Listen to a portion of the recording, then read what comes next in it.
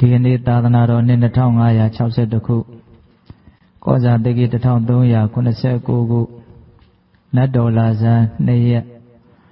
2019ခုနှစ်17လပိုင်း20ရက်တနင်္လာနေ့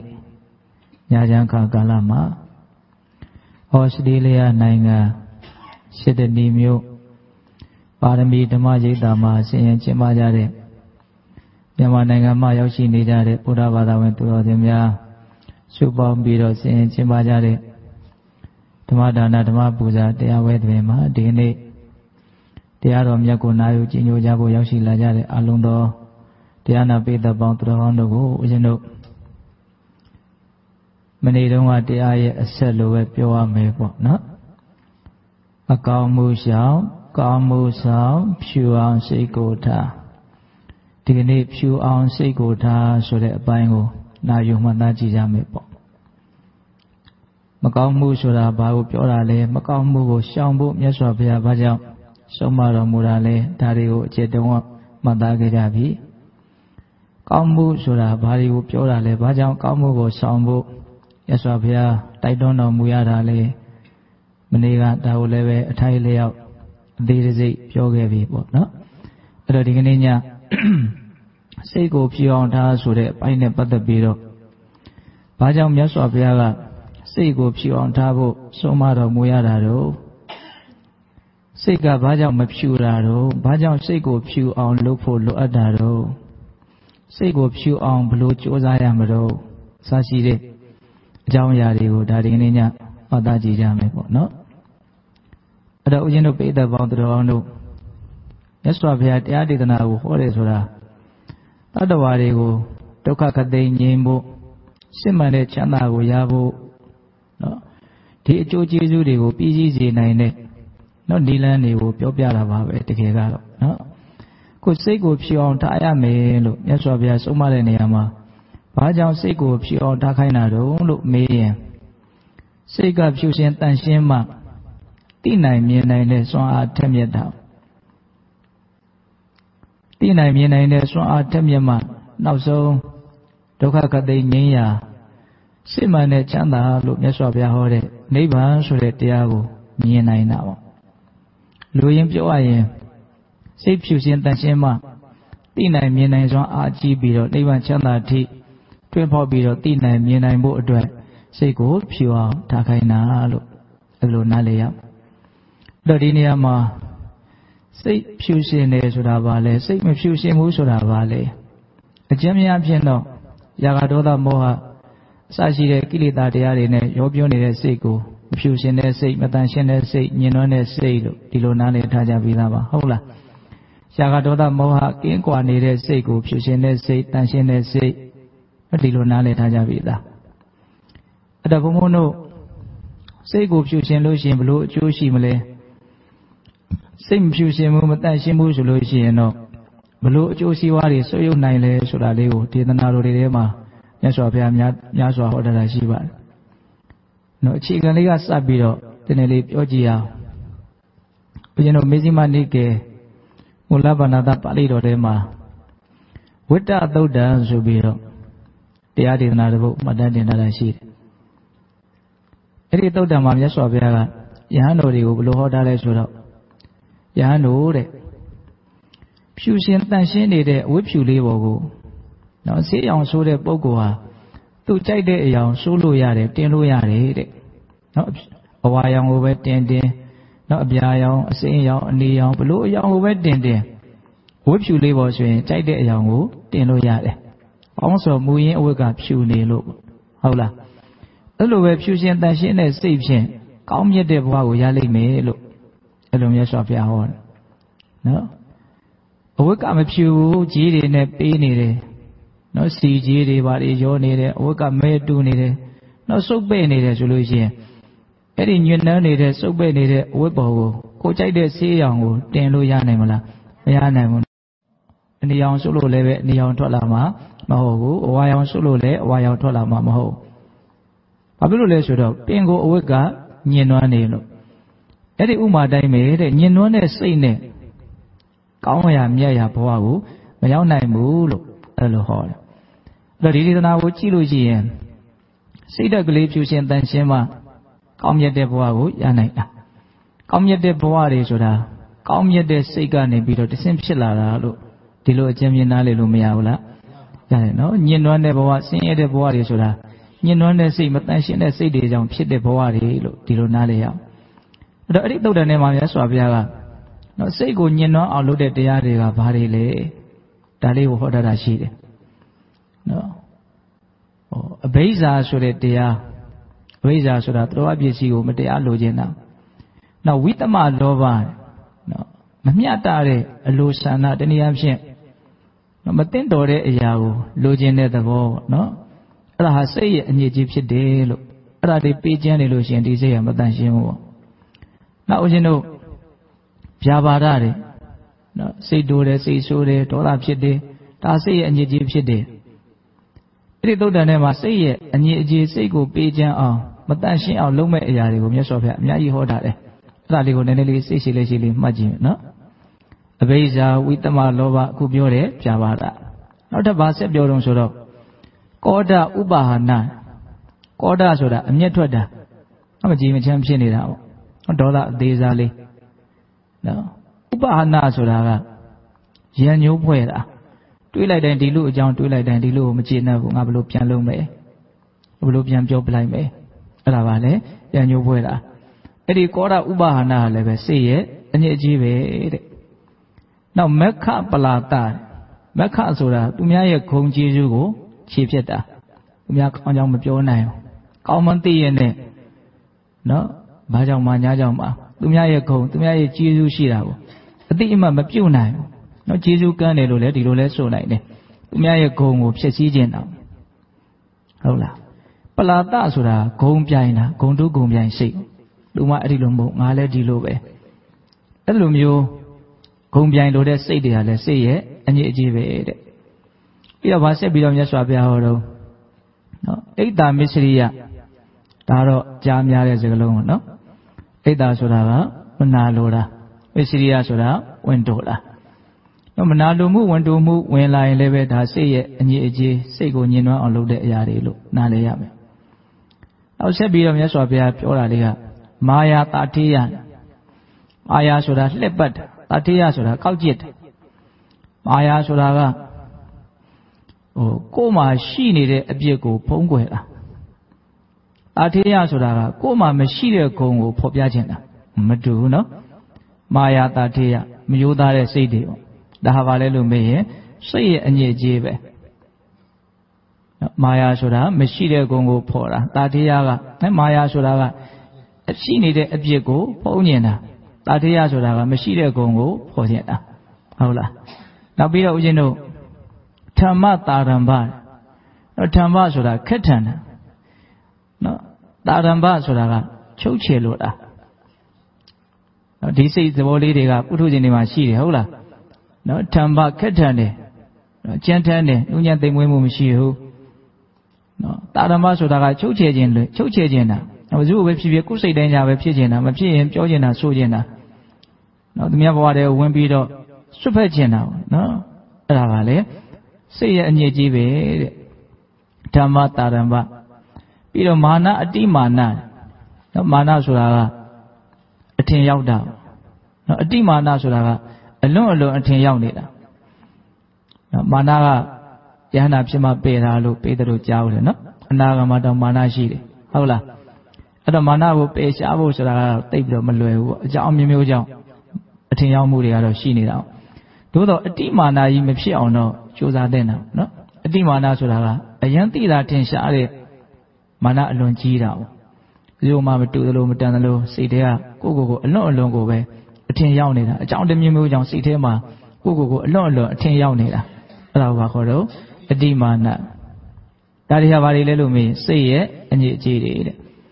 ပြီးတော့မဒပမာဒတဲ့နော်16မျိုးဒီဟောတာနော်မြတ်စွာဘုရားမဒဆိုတာကရှင်မူးတာကိုရောက်နေတဲ့အခြေအနေလေးကိုကိုယ့်အကိုပဲတော့ตายရပြီးတော့မလုပ်နေတာတော့ရှင်မူးနေတာ နော်အဟုတ်ထင်နေတာပေါ့နော်ပမာဒဆိုတာကမေးလျော့တာနော်တဘာဝတရားတွေဘလို့ဖြစ်နေတယ်လေအဲ့ဒါတွေကိုဘာမှသိလို့မြင်လို့စိလည်းမရှိဘူးသိအောင်မြင်အောင်လည်းမကြိုးစားဘူးဒီတိုင်းပဲဖြစ်တယ်လို့မျောလိုက်ပြီးတော့နေနေတာမျိုးပေါ့အဲ့ဒါကခေါ်တော့ပမာဒတတိကင်းပေါ့ပြီးတော့မိမိလျော့ရောနေနေတာအဲ့ဒါတွေဟာဘာတွေလဲလို့မေးရင်စိတ်ရဲ့အညစ်အကြေးတွေပဲတဲ့အဲ့ဒီစိတ်အညစ်အကြေးတွေရှိနေလို့ရှိရင်ဒီစိတ်ဟာမတန်ရှင်းဘူးပေါ့မတန်ရှင်းဘူးဆိုလို့ရှိရင် မတန်ရှင်းတဲ့အဝတ်ပေါ်ကိုကြိုက်တဲ့စိတ်အောင်ခြေလို့မရတယ်လို့မတန်ရှင်းတဲ့စိတ်နဲ့ကောင်းရမြတ်ရဘဝကိုမရောက်နိုင်ဘူးတဲ့ဟုတ်လားအဲ့ဒါတွေကိုဖယ်ရှားနိုင်မယ်ဆိုရင်ဒီစိတ်ဟာတန်ရှင်းတဲ့ဖြူရှင်တဲ့ပေါ့တန်ရှင်းဖြူရှင်တဲ့စိတ်ဒီကောင်းမြတ်တဲ့ဘဝကိုရောက်စေနိုင်တယ်ဥပမာတော့ဖြူရှင်တန်ရှင်းတဲ့အဝတ်ဖြူဘဝကိုကြိုက်တဲ့စိတ်အောင်တင်လို့ရတယ်လို့ပဲလို့ဒါကဦးဇင်းတို့ဝိတ္တသုတ်တံမှာဟောထားတဲ့အကြောင်းအရာလေးတွေကိုကောင်းထုတ်ချက်လေးချပြီးတော့ဦးဇင်းပြောပြတယ်ဟုတ်လားနောက်တစ်ခုဆက်ပြီးတော့ပြောချင်တာက စိတ်ဖြူရှင်တန်ရှင်းလို့ရှိရင်ဘလောက်ထိသူကစွန့်ရည်တတိထက်မြက်လာလဲဆိုတာကိုမြတ်စွာဘုရားကဥမာလေးပေးပြီးတော့ဟောတာအဲ့ဒါကဦးဇင်းတို့အင်္ဂုတ္တပါဠိတော်ဧကနိပတ်ထဲမှာမှတ်တမ်းတင်ထားတာရှိတယ်နော်ဘာပြောထားလဲဆိုတော့ဟိုရေအိုင်တိုင်းရှိတယ်အဲ့ဒီရေကရေတွေဟာအရန်ကိုနောက်ကျနေတယ်ဟုတ်လားရေတွေကအနေတွေထပြီးတော့နောက်ဝါချင်းချင်းနဲ့နောက်ကျနေတယ်အဲ့လိုဆိုရင်အဲ့ဒီရေထဲမှာ ရှိနေတဲ့နောက်ကြောက်စတဲ့ခဲတွေခယူလေးတွေပါးလေးတွေငါးလေးတွေနောက်အိုချမ်းပဲလေးတွေနောက်ဓာတ်တွေကိုမြင်ဖို့ဆိုတာဘလို့မှမဖြစ်နိုင်ဒီကနောက်ကျနေတာ哦ရေနဲ့သလားတိမ်သလားဆိုတာတောင်သိဖို့မလွယ်ဘူးရေကနောက်နေလို့ရှိရင်ရေအောက်မှာဘာတွေရှိတယ်ဆိုတာကိုမမြင်နိုင်ဘူးနော်ရေကကြည်လင်တန့်ရှင်းနေမယ်ဆိုလို့ရှိရင်တော့အဲ့ဒီရေကန်ရဲ့အောက်ခြေမှာရှိတဲ့အရာတွေကိုအတိုင်းတာမြင်နေရမယ်ပေါ့နော် အားလေးတွေသွားနေတာလည်းမြင်ရမယ်နော်ရောက်သွားလေးတွေခယူလေးတွေကြောက်ရှိတဲ့ခဲလေးတွေအောက်ခြေမှာရှိနေတဲ့သဲပြင်းဓာတ်တောင်မြင်ရဘူးလားမြင်ရတယ်နော်ဘာလို့လဲတော့ရေကကြည်လင်းနေလို့အဲ့လိုပဲတဲ့စိတ်ကနောက်ကျနေမယ်ဆိုလို့ရှိရင်အဲ့ဒီပုဂ္ဂိုလ်ဟာမိမိရဲ့ကြိုးစီဝါတော်ရဲ့ကြိုးစီဝါကိုမသိနိုင်ဘူးမြင်နိုင်ဘူးတဲ့အဲ့ဒါကိုမြတ်စွာဘုရားစနစ်တကျလေးဟောထားပုံကအာဝိလေနစိတ်တေနအထထံဝါညတတိပရထံဝါညတတိ ဥပယထံဝါညတတိနော်အာဝိလေနစိတ်တေနနောက်ကျနေတဲ့စိတ်နဲ့အထက်ထံဝါမိမိရဲ့စစ်မှန်တဲ့အကျိုးရှိပွားကိုညတတိသိမြင်လိုက်မယ်ဆိုတဲ့ဣတံထာနာဤအကြောင်းဒီနာဝိစတိမရှိဘူးတဲ့နော်ကိုယ့်ရဲ့အကျိုးရှိပွားနော်ဘလို့တွေလုပ်ရင်အကျိုးရှိမယ်ဘလို့တွေမလုပ်ရင်အကျိုးမဲ့လိမ့်မယ်ဒါမျိုးတွေအကျိုးရှိတာမရှိတာကိုမသိနိုင်ဘူးပရထံဝါညတတိတဲ့သူတော်ရဲ့အကျိုးရှိပွားကိုလည်းအမှန်ကန်သိမြင်ဖို့ဆိုတာမဖြစ်နိုင်ဘူးတဲ့ ဥပယတံဝါညတတိမိမိသူတော်ဘာနှစ်ဦးသားတို့ရဲ့အကျိုးရှိပွားကိုမသိနိုင်ဘူးတဲ့ပြီးတော့ဗာဆက်ပြောတော့ဥတ္တရိဝါမနုဿဓမ္မအလမရိယညာဏတတနဝိသေတံတစ္ဆိကရိတတိတိနေတံဌာနဝိဇတိဆိုလိုတာကလူတို့ထက်မြတ်တဲ့တရားနော်ဇန်တရားမေတရားဖို့တရားကိုရည်ညွှန်းတာဥတ္တရိမနုဿဓမ္မ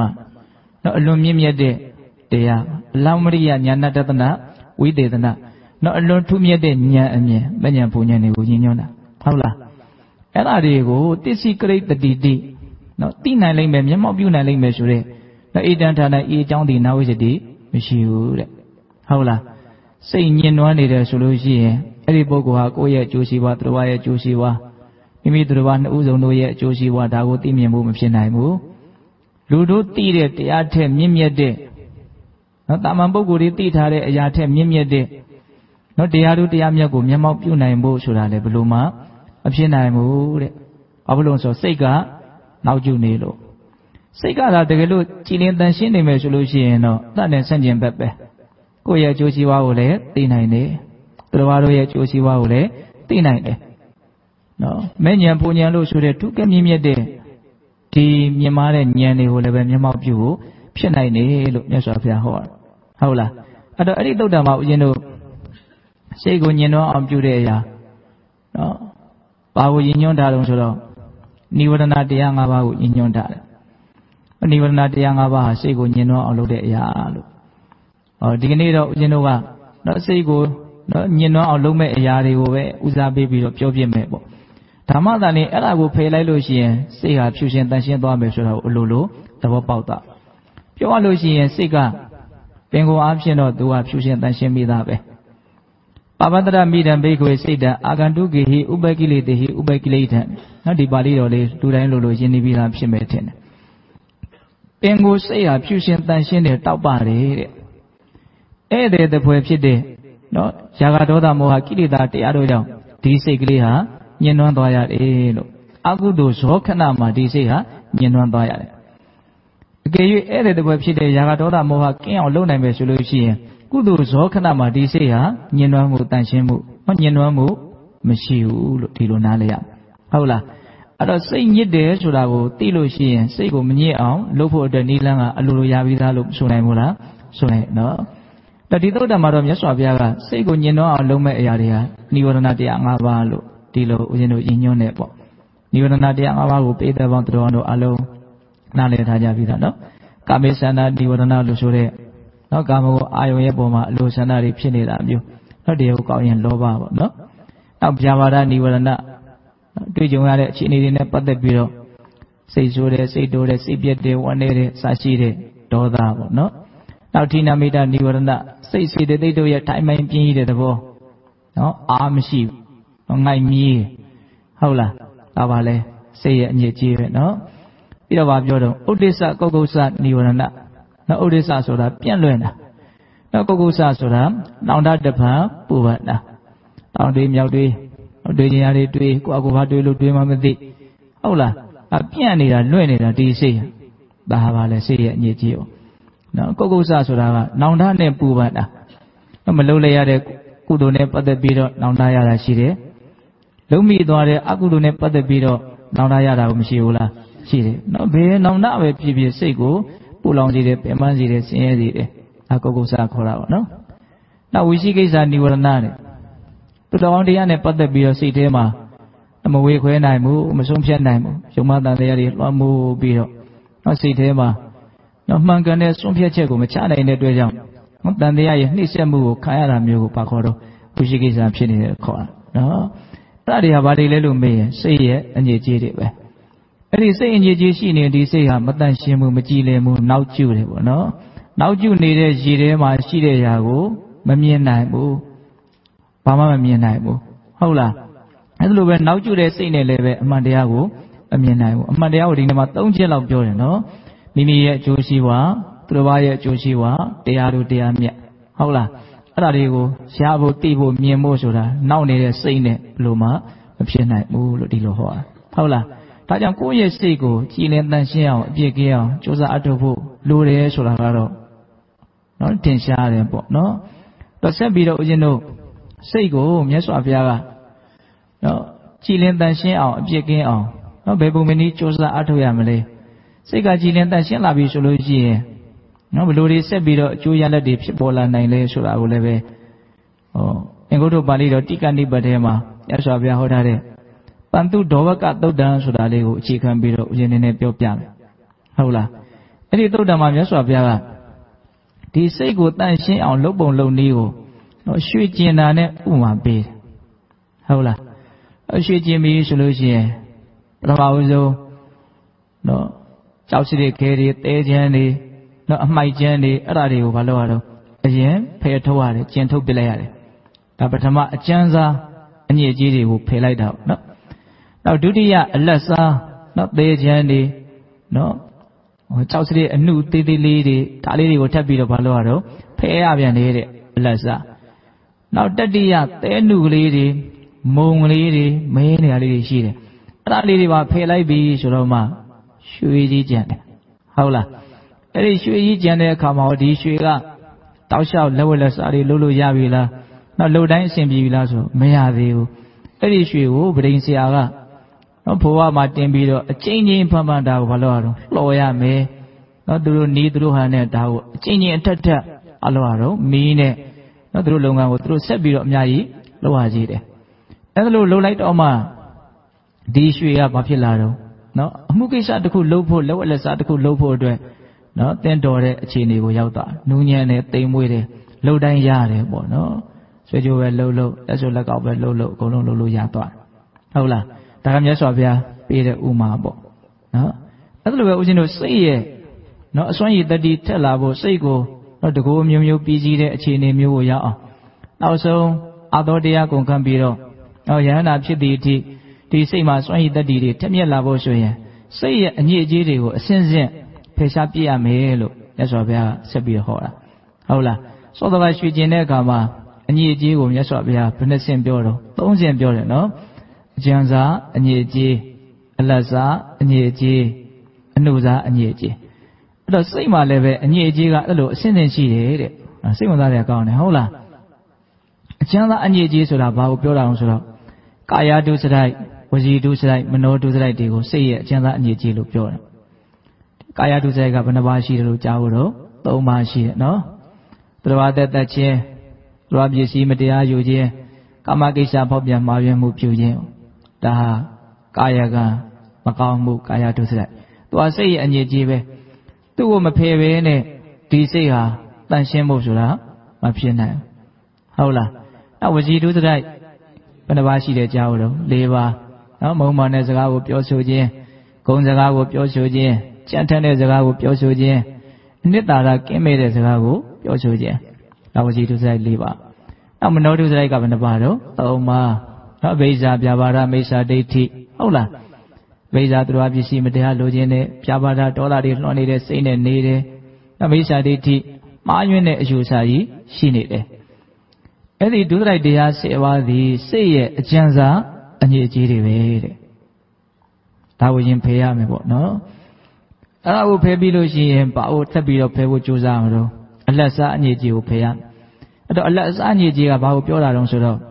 ကာမဝိတ္တဗျာပါဒဝိတ္တဝိဟိတဝိတ္တကိုပြောတာတဲ့မှတ်မယ်နော်မှတ်စရာတွေကများတယ်ဟုတ်လား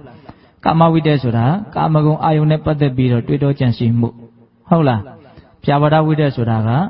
စိတ်တူမှုစိတ်ဆိုးမှုဒေါသနဲ့ရှင်တဲ့အတွေးဟုတ်လားဝိဟိတဝိတ္တဆိုတာကဘာလဲနော်စိတ်တူစိတ်ဆိုးယုံမြမကပဲနဲ့နော်တစ်ဖက်သားကိုလိမ့်ဆက်ဖို့ညှင်းဆဲဖို့အထိတွေးလာတဲ့အတွေးဝိဟိတဝိတ္တဟုတ်လား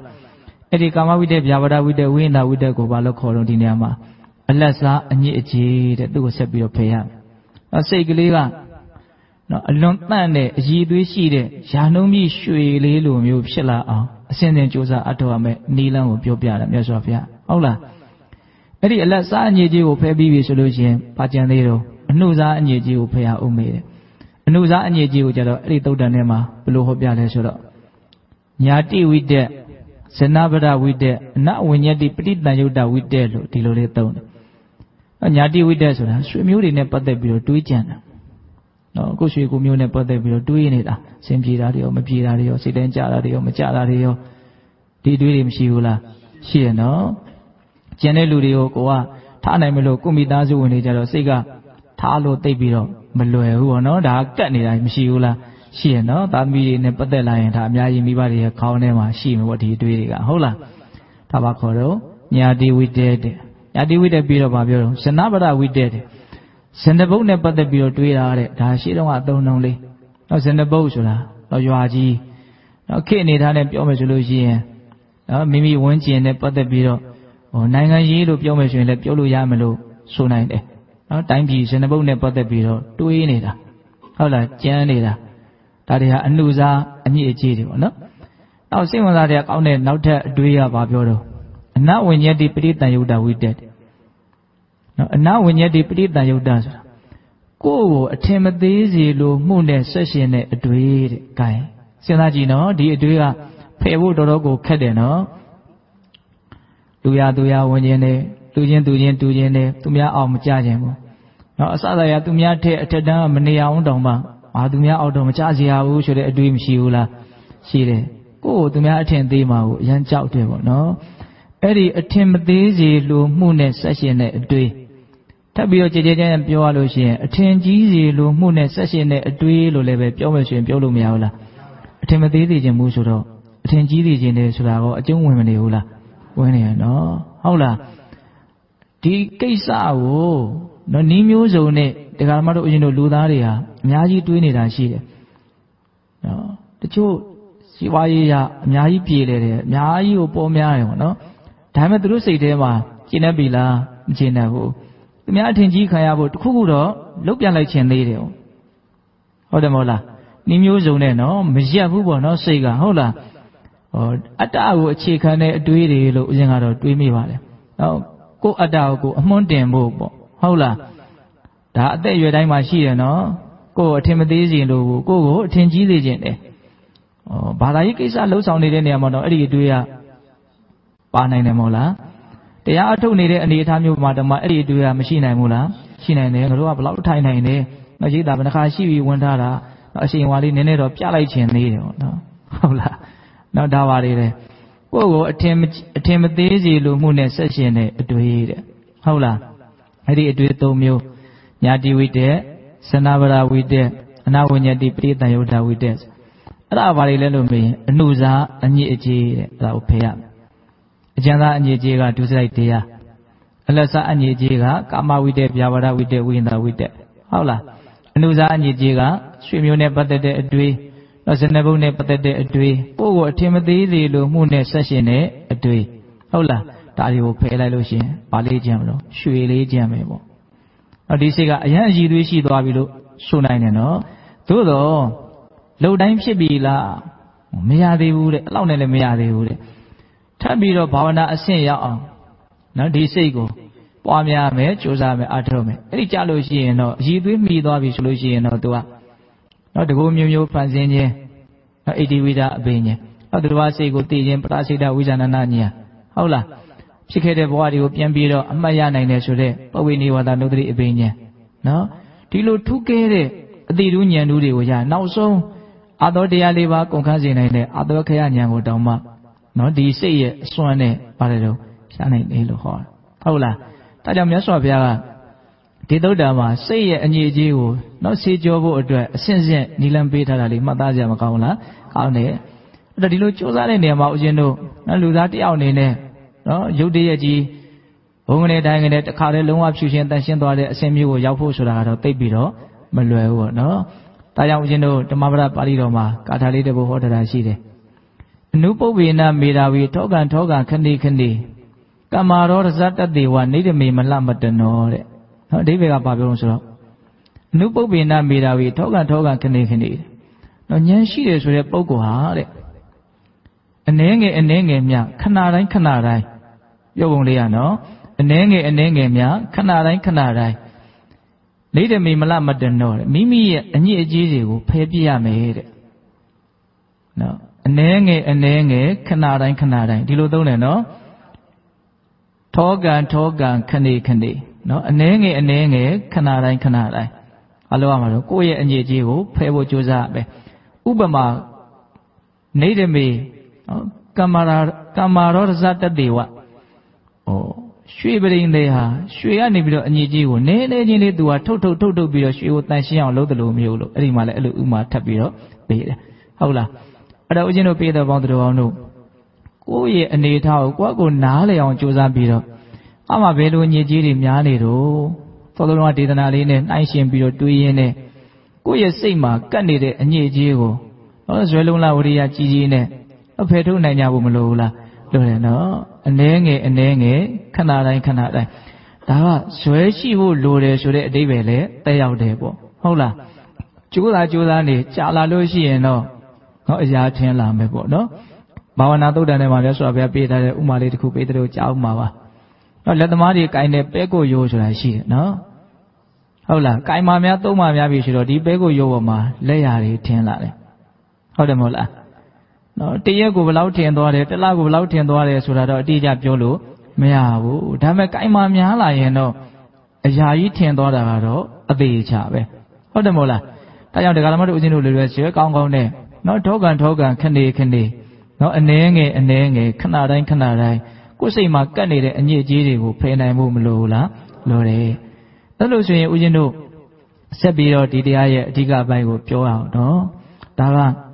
စိတ်ရဲ့အညစ်အကြေးတွေဆိုတာဘာဆိုတာကိုအကျဉ်းမြင်လေးဥစဉ်ပြောပြတာ။နော်စိတ်ရဲ့အညစ်အကြေးကိုဖယ်ဖို့ဘာကြောင့်လိုအပ်တယ်လဲဆိုတာကိုအကျဉ်းမြင်လေးပြောပြတာ။ဒီစိတ်ရဲ့အညစ်အကြေးတွေကိုဖယ်နိုင်မှကောင်းကျိုးချမ်းသာကိုဒီစိတ်ကဆောင်ရွက်နိုင်မှာ။အိုးဟုတ်လား။ခုဆက်ပြီးတော့ပြောနေတာကဒီစိတ်ရဲ့အညစ်အကြေးကိုဘယ်ပုံဘယ်နည်းဖယ်မလဲဘာနဲ့ဖယ်မလို့လို့ဖယ်မလဲဒီအပိုင်းပေါ့နော်။အဲ့တော့ဦးဇင်းတို့ကျမ်းစာတွေထဲမှာနမသားစရာကောင်းတဲ့နော်အကြောင်းအရာလေးတစ်ခုမှတ်တမ်းတင်ထားတာလေးရှိတယ်။ဩ ဇလေနဘဝတိပင်ကံဇလေနေဝဝိတုစတိစိတ်တေနဘဝတိပါပံစိတ်တေနေဝဝိတုစတိဒီဘက်ကဘာပြောတာတော့ဇလေနဘဝတိပင်ကံဇလေနေဝဝိတုစတိနော်အညစ်အကြေးဆိုတာရေကြောင့်ဖြစ်တာတဲ့နော်ဒကာမတို့ဦးဇင်းတို့အင်ကြီးတွေမှာညစ်ကြေးတင်နေဆိုချွေးဆိုတဲ့ရေမပါဘဲနဲ့မဖြစ်ဘူးပေါ့နော်အဆိုတဲ့အစေးတဲ့ပါလို့အညစ်အကြေးတင်တာပေါ့ဟုတ်လားအညစ်အကြေးဆိုတာဘာကြောင့်ဖြစ်တာ ရေကြောင့်ဖြစ်တာနော်ရေဓာတ်ကြောင့်အညစ်အကြေးဖြစ်လာတာရေဓာတ်နေနေရေဓာတ်မပါဘူးဆိုရင်ပွာလန်ကြေးပြီးတော့ကတ်နိုင်မှာမဟုတ်ဘူးပေါ့ဟုတ်လားရေကြောင့်ဖြစ်တဲ့အညစ်အကြေးကိုနောက်ဆုံးဘာနဲ့ဆေးရရေနဲ့ပဲဆေးရဒါကိုပြောတာနော်သူကဇလေနဘဝတိပင်ကံဇလေနရေကြောင့်ပင်ကံအညစ်အကြေးသည်ဘဝတိဖြစ်လာတယ်ရွှွညွန်နေအညစ်အကြေးတွေဟာရေကြောင့်ဖြစ်လာတယ်ဇလေနေဝဝိတုဇတိတဲ့အဲ့ဒီရေနဲ့ပဲအဲ့ဒီအညစ်အကြေးကိုပြန်ပြီးတော့ဘာလို့အောင်တော့ရှေ့ရမယ်တဲ့အဲ့ဒါဥမာပြောတာနော် အဲ့လိုပဲစိတ်ဒေနဘဝတိပါပံစိတ်ဒေနေဝဝိတုဇတိမကောင်းမှုဆိုတာစိတ်ကြောင့်ဖြစ်လာတယ်နော်စိတ်ရဲ့အညစ်အကြေးဆိုတာစိတ်ကြောင့်ပဲဖြစ်တာအဲ့ဒီစိတ်နဲ့ပဲစိတ်ရဲ့အညစ်အကြေးကိုဘာလို့ဖို့ကြိုးစားလဲဆေးကြောဖို့ကြိုးစားမယ်တဲ့ဟုတ်လားအဲ့တော့စိတ်ရဲ့အညစ်အကြေးကိုဆေးကြောတယ်ဆိုတာတကယ်တမ်းကဘာလဲစိတ်အလုပ်ပဲနော်ဟုတ်လားစိတ်အလုပ်ဘယ်လိုလုပ်ရမှာတုံးလို့မေးရင်တော့သတိပဋ္ဌာန်ဘာဝနာကိုပွားများတဲ့အလုပ်ကိုလုပ်ကြရမှာ နော်ရေကြောင့်ရွှွနှစ်ညစ်ကြေးဖြစ်စိတ်နှစ်ညစ်ကြေးအဲရွှွနှစ်ညစ်ကြေးရေဖြင့်ဆေးလို့စိတ်ကြောင့်စိတ်ညစ်စိတ်ဆွေးဖြစ်၏စိတ်ညစ်စိတ်ဆွေးစိတ်ဖြင့်ဆေးလို့ဟုတ်လားအဲ့တော့စိတ်နဲ့ဆေးရမယ်ဆိုတော့ဘလို့ဆေးရမှာတော့ဆိုတော့တတိပဋ္ဌာန်ဘာဝနာလုပ်ကိုပွားများခြင်းအပြင်ဆေးရနော်တတိပဋ္ဌာန်ဘာဝနာလုပ်ကိုပွားများတယ်ဆိုတာကအဘိဓမ္မာတော်တော်တို့နားရဲတော့တော်တော်ရှင်းနေကြပါပြီဟုတ်လားအဲ့ဒီတတိပဋ္ဌာန်ဘာဝနာအလုပ်ကိုပွားများလို့ရှိရင်ရရှိနိုင်မဲ့အကျိုးကျေးဇူးခုနှစ်မျိုးပြောတဲ့အ ਨੇ ကပ ထမဦးဆုံးအကျိုးကျေးဇူးကစိတ်တဲ့ဖြူရှင်တန်ရှင်းလာလိမ့်မယ်ဆိုတဲ့အကျိုးကျေးဇူးဖြစ်နေတာဟာနော်ဒီနေရာမှာပြောစရာအလွန်ကောင်းတဲ့အချက်ပဲဟုတ်လားဧကာယနောယံဘိကဝေမေဃောတတ္တနံဝိတုဒ္ဓိယဟောတတိပဋ္ဌာန်တရား၄ပါးဆိုတာပွားများကြတဲ့ပုဂ္ဂိုလ်တို့ရဲ့စိတ်ဓာတ်ကိုဖြူရှင်တန်ရှင်းအပြည့်ကင်းဖို့အတွက်တကြောင်ဒီသောရှောက်လိုက်ရမယ်လမ်းဖြစ်တယ်လို့ဟောတာဟုတ်လားတတ္တနံဝိတုဒ္ဓိယ နော်တတ္တဝါတို့ရဲ့စိတ်ဓာတ်ဖြူရှင်တန်ရှင်းအပြည့်ကင်းသွားလိမ့်မယ်တတိပဋ္ဌာန်ဘာဝနာကိုပွားများလို့ရှိရင်နော်ဒါတတိပဋ္ဌာန်ဘာဝနာဆိုတာဘာတွေတော့ကာယ ानु ဘဒနာတတိပဋ္ဌာန်ရှိတယ်ဝေဒနာ ानु ဘဒနာတတိပဋ္ဌာန်ရှိတယ်စိတ်ဓာ ानु ဘဒနာတတိပဋ္ဌာန်ရှိတယ်ဓမ္မ ानु ဘဒနာတတိပဋ္ဌာန်ရှိတယ်ဒါလေးကိုနည်းနည်းလေးအသေးစိတ်ကလေးပြောကြည့်ခြင်းနဲ့နော်ကိုယ့်ရဲ့စိတ်ကိုဖြူရှင်တန်ရှင်းအောင်ရှင်းကြောမယ်ဆိုရင်တော့အခုပြောမဲ့နီလန်းတွေကကိုနှစ်သက်ရာတစ်ခုနှစ်ခု ကြိုက်တယ်လို့အသုံးပြုပြီးတော့ကိုယ့်ရဲ့စိတ်ကိုဖြူရှင်အောင်ရှင်းကြောရမယ်ပေါ့ဟုတ်လားအဲ့တော့ကာယ ानु ဘဒနာတတိပဋ္ဌာန်ကိုမြတ်စွာဘုရားက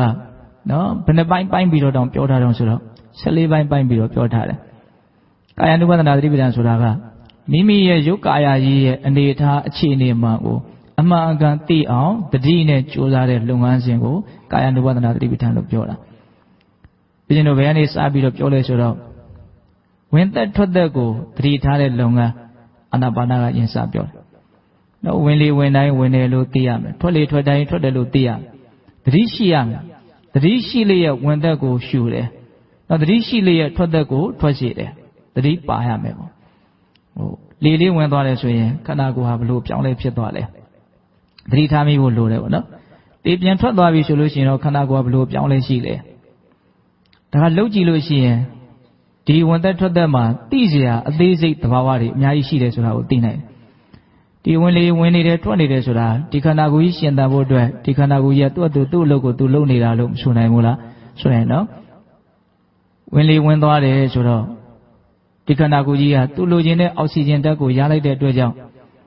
စိတ်ထဲမှာလန်းဆန်းသွားတဲ့သဘောဟုတ်လား။ကျင့်တတ်သွားတဲ့သဘောအာရသွားတဲ့သဘောလေးရှိတယ်ဆိုတာလေးကိုမြင်အောင်ကြည့်တတ်ဖို့လိုတယ်။ လေရှူလဲရတယ်ဒါလေးရှိတယ်နော်သတိထားကြည့်ဟုတ်လားသူလိုချင်တာရသွားတာပေါ့နော်။ခိုင်ထွက်လေထွက်သွားပြီဆိုတော့ဘယ်လိုခံစားချက်ရှိနိုင်တော့မလိုအပ်တဲ့အရာတွေကိုထုတ်ပလဲရတဲ့အတွက်ကြောင့်ပေါ်ပါသွားတဲ့သဘောလည်းရှိတယ်။နော်။လေဝင်ဖို့အရန်ခက်ခဲနေတယ်တချို့ယောဂဖြီးကြီးလို့ကိုယ့်အသက်ကိုယ်တောင်ဝအောင်ရှူနိုင်မှုဆိုရင် तू ပင်ပန်းနေပြီ။ तू လိုချင်တာကိုမရအောင်။အဲအောက်ဆီဂျင်တွေပါလေးပေးရတယ်ဆိုတာမလုပ်ရဘူးလား။လုပ်ရတယ်နော်။ ထွက်သက်မထွက်အောင်မလုပ်နိုင်ဘူး။ရှောရှူယူမလုပ်နိုင်ဘူးဆိုရင် तू ပင်ပန်းမနေဘူးလား။ပင်ပန်းနေတယ်။ဒီဝင်လေတွက်လေဟာဒီခန္ဓာကိုယ်ပေါ်မှာဘလောက်အရေးပါအရာရောက်တဲ့နော်အစိတ်အပိုင်းကြီးလဲဆိုတာကိုနားလည်အောင်ကြိုးစားဖို့လိုတယ်။သူတစ်ခုတည်းဇောက်ချပြီးတော့လုံးမယ်ဆိုရင်တော့ရဟန္တာဖြစ်နိုင်တယ်လို့မြတ်စွာဘုရားဟောတယ်။ဟုတ်လား။ဒါကြောင့်ကာယ ानु ဘဒနာသတိပဋ္ဌာန်ထဲမှာမြတ်စွာဘုရားအဲ့ဒီအာနာပါနာကိုထိတ်ဆုံးအားထားပြီးတော့ဟောတာ ဒါကိုယ့်ရဲ့စိတ်ကိုဖြူရှင်တန်ရှင်းအောင်လုပ်ချင်တယ်ဆိုလို့ရှိရင်အသုံးပြုရမယ်နီလန်းနေပေါ့နော်အဲ့တော့ဝန်သက်ထွက်တဲ့ကိုကိုကသတိထားနေတဲ့နော်ဝိပုရှတော်ဘုရားကြီးများသင်ပြသလိုကိုညာတိုင်းလုပ်နေတဲ့နီလန်းတစ်ခုပေါ့နော်ဝင်လေဝင်တိုင်းထိတယ်ထိတိုင်းသိအောင်ကြိုးစားတယ်ထွက်လေထွက်တိုင်းထိတယ်ထိတိုင်းသိအောင်ကြိုးစားတယ်အဲ့ဒီထိတာကိုသိနေတဲ့အချိန်မှာယာဂဒေါသမောဟအညစ်အကြေးဒီစိတ်မှာမရှိဘူးဆိုတာကိုကိုယ်တိုင်မသိနိုင်ဘူးလားသိနိုင်တယ်နော်မမောတယ်ဆိုတဲ့နှစ်သက်တယ်ဆိုတဲ့သဘောစိတ်မှာမရှိဘူး မကြည်နပ်ဘူးစိတ်တိုင်းမကြဘူးဆိုတဲ့ဒေါသသဘောလည်းဒီစိတ်မှာမရှိဘူးအမှန်ကန်သိနေတဲ့အတွက်ကြောင့်မောဟသဘောလည်းဒီစိတ်မှာမရှိဘူး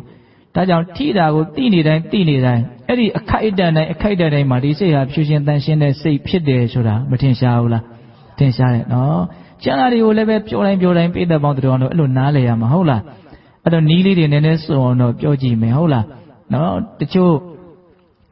တရားဒေသနာတွေဆိုတာကနော်ကြည်ကြပြန့်ပြန့်မှတ်သားလို့ရှိရင် ကို့မှာဘယ်နီးလေးနဲ့ကိုက်ညီမလဲဆိုတာရွေးချယ်ခွင့်အများကြီးရှိတာပေါ့နော်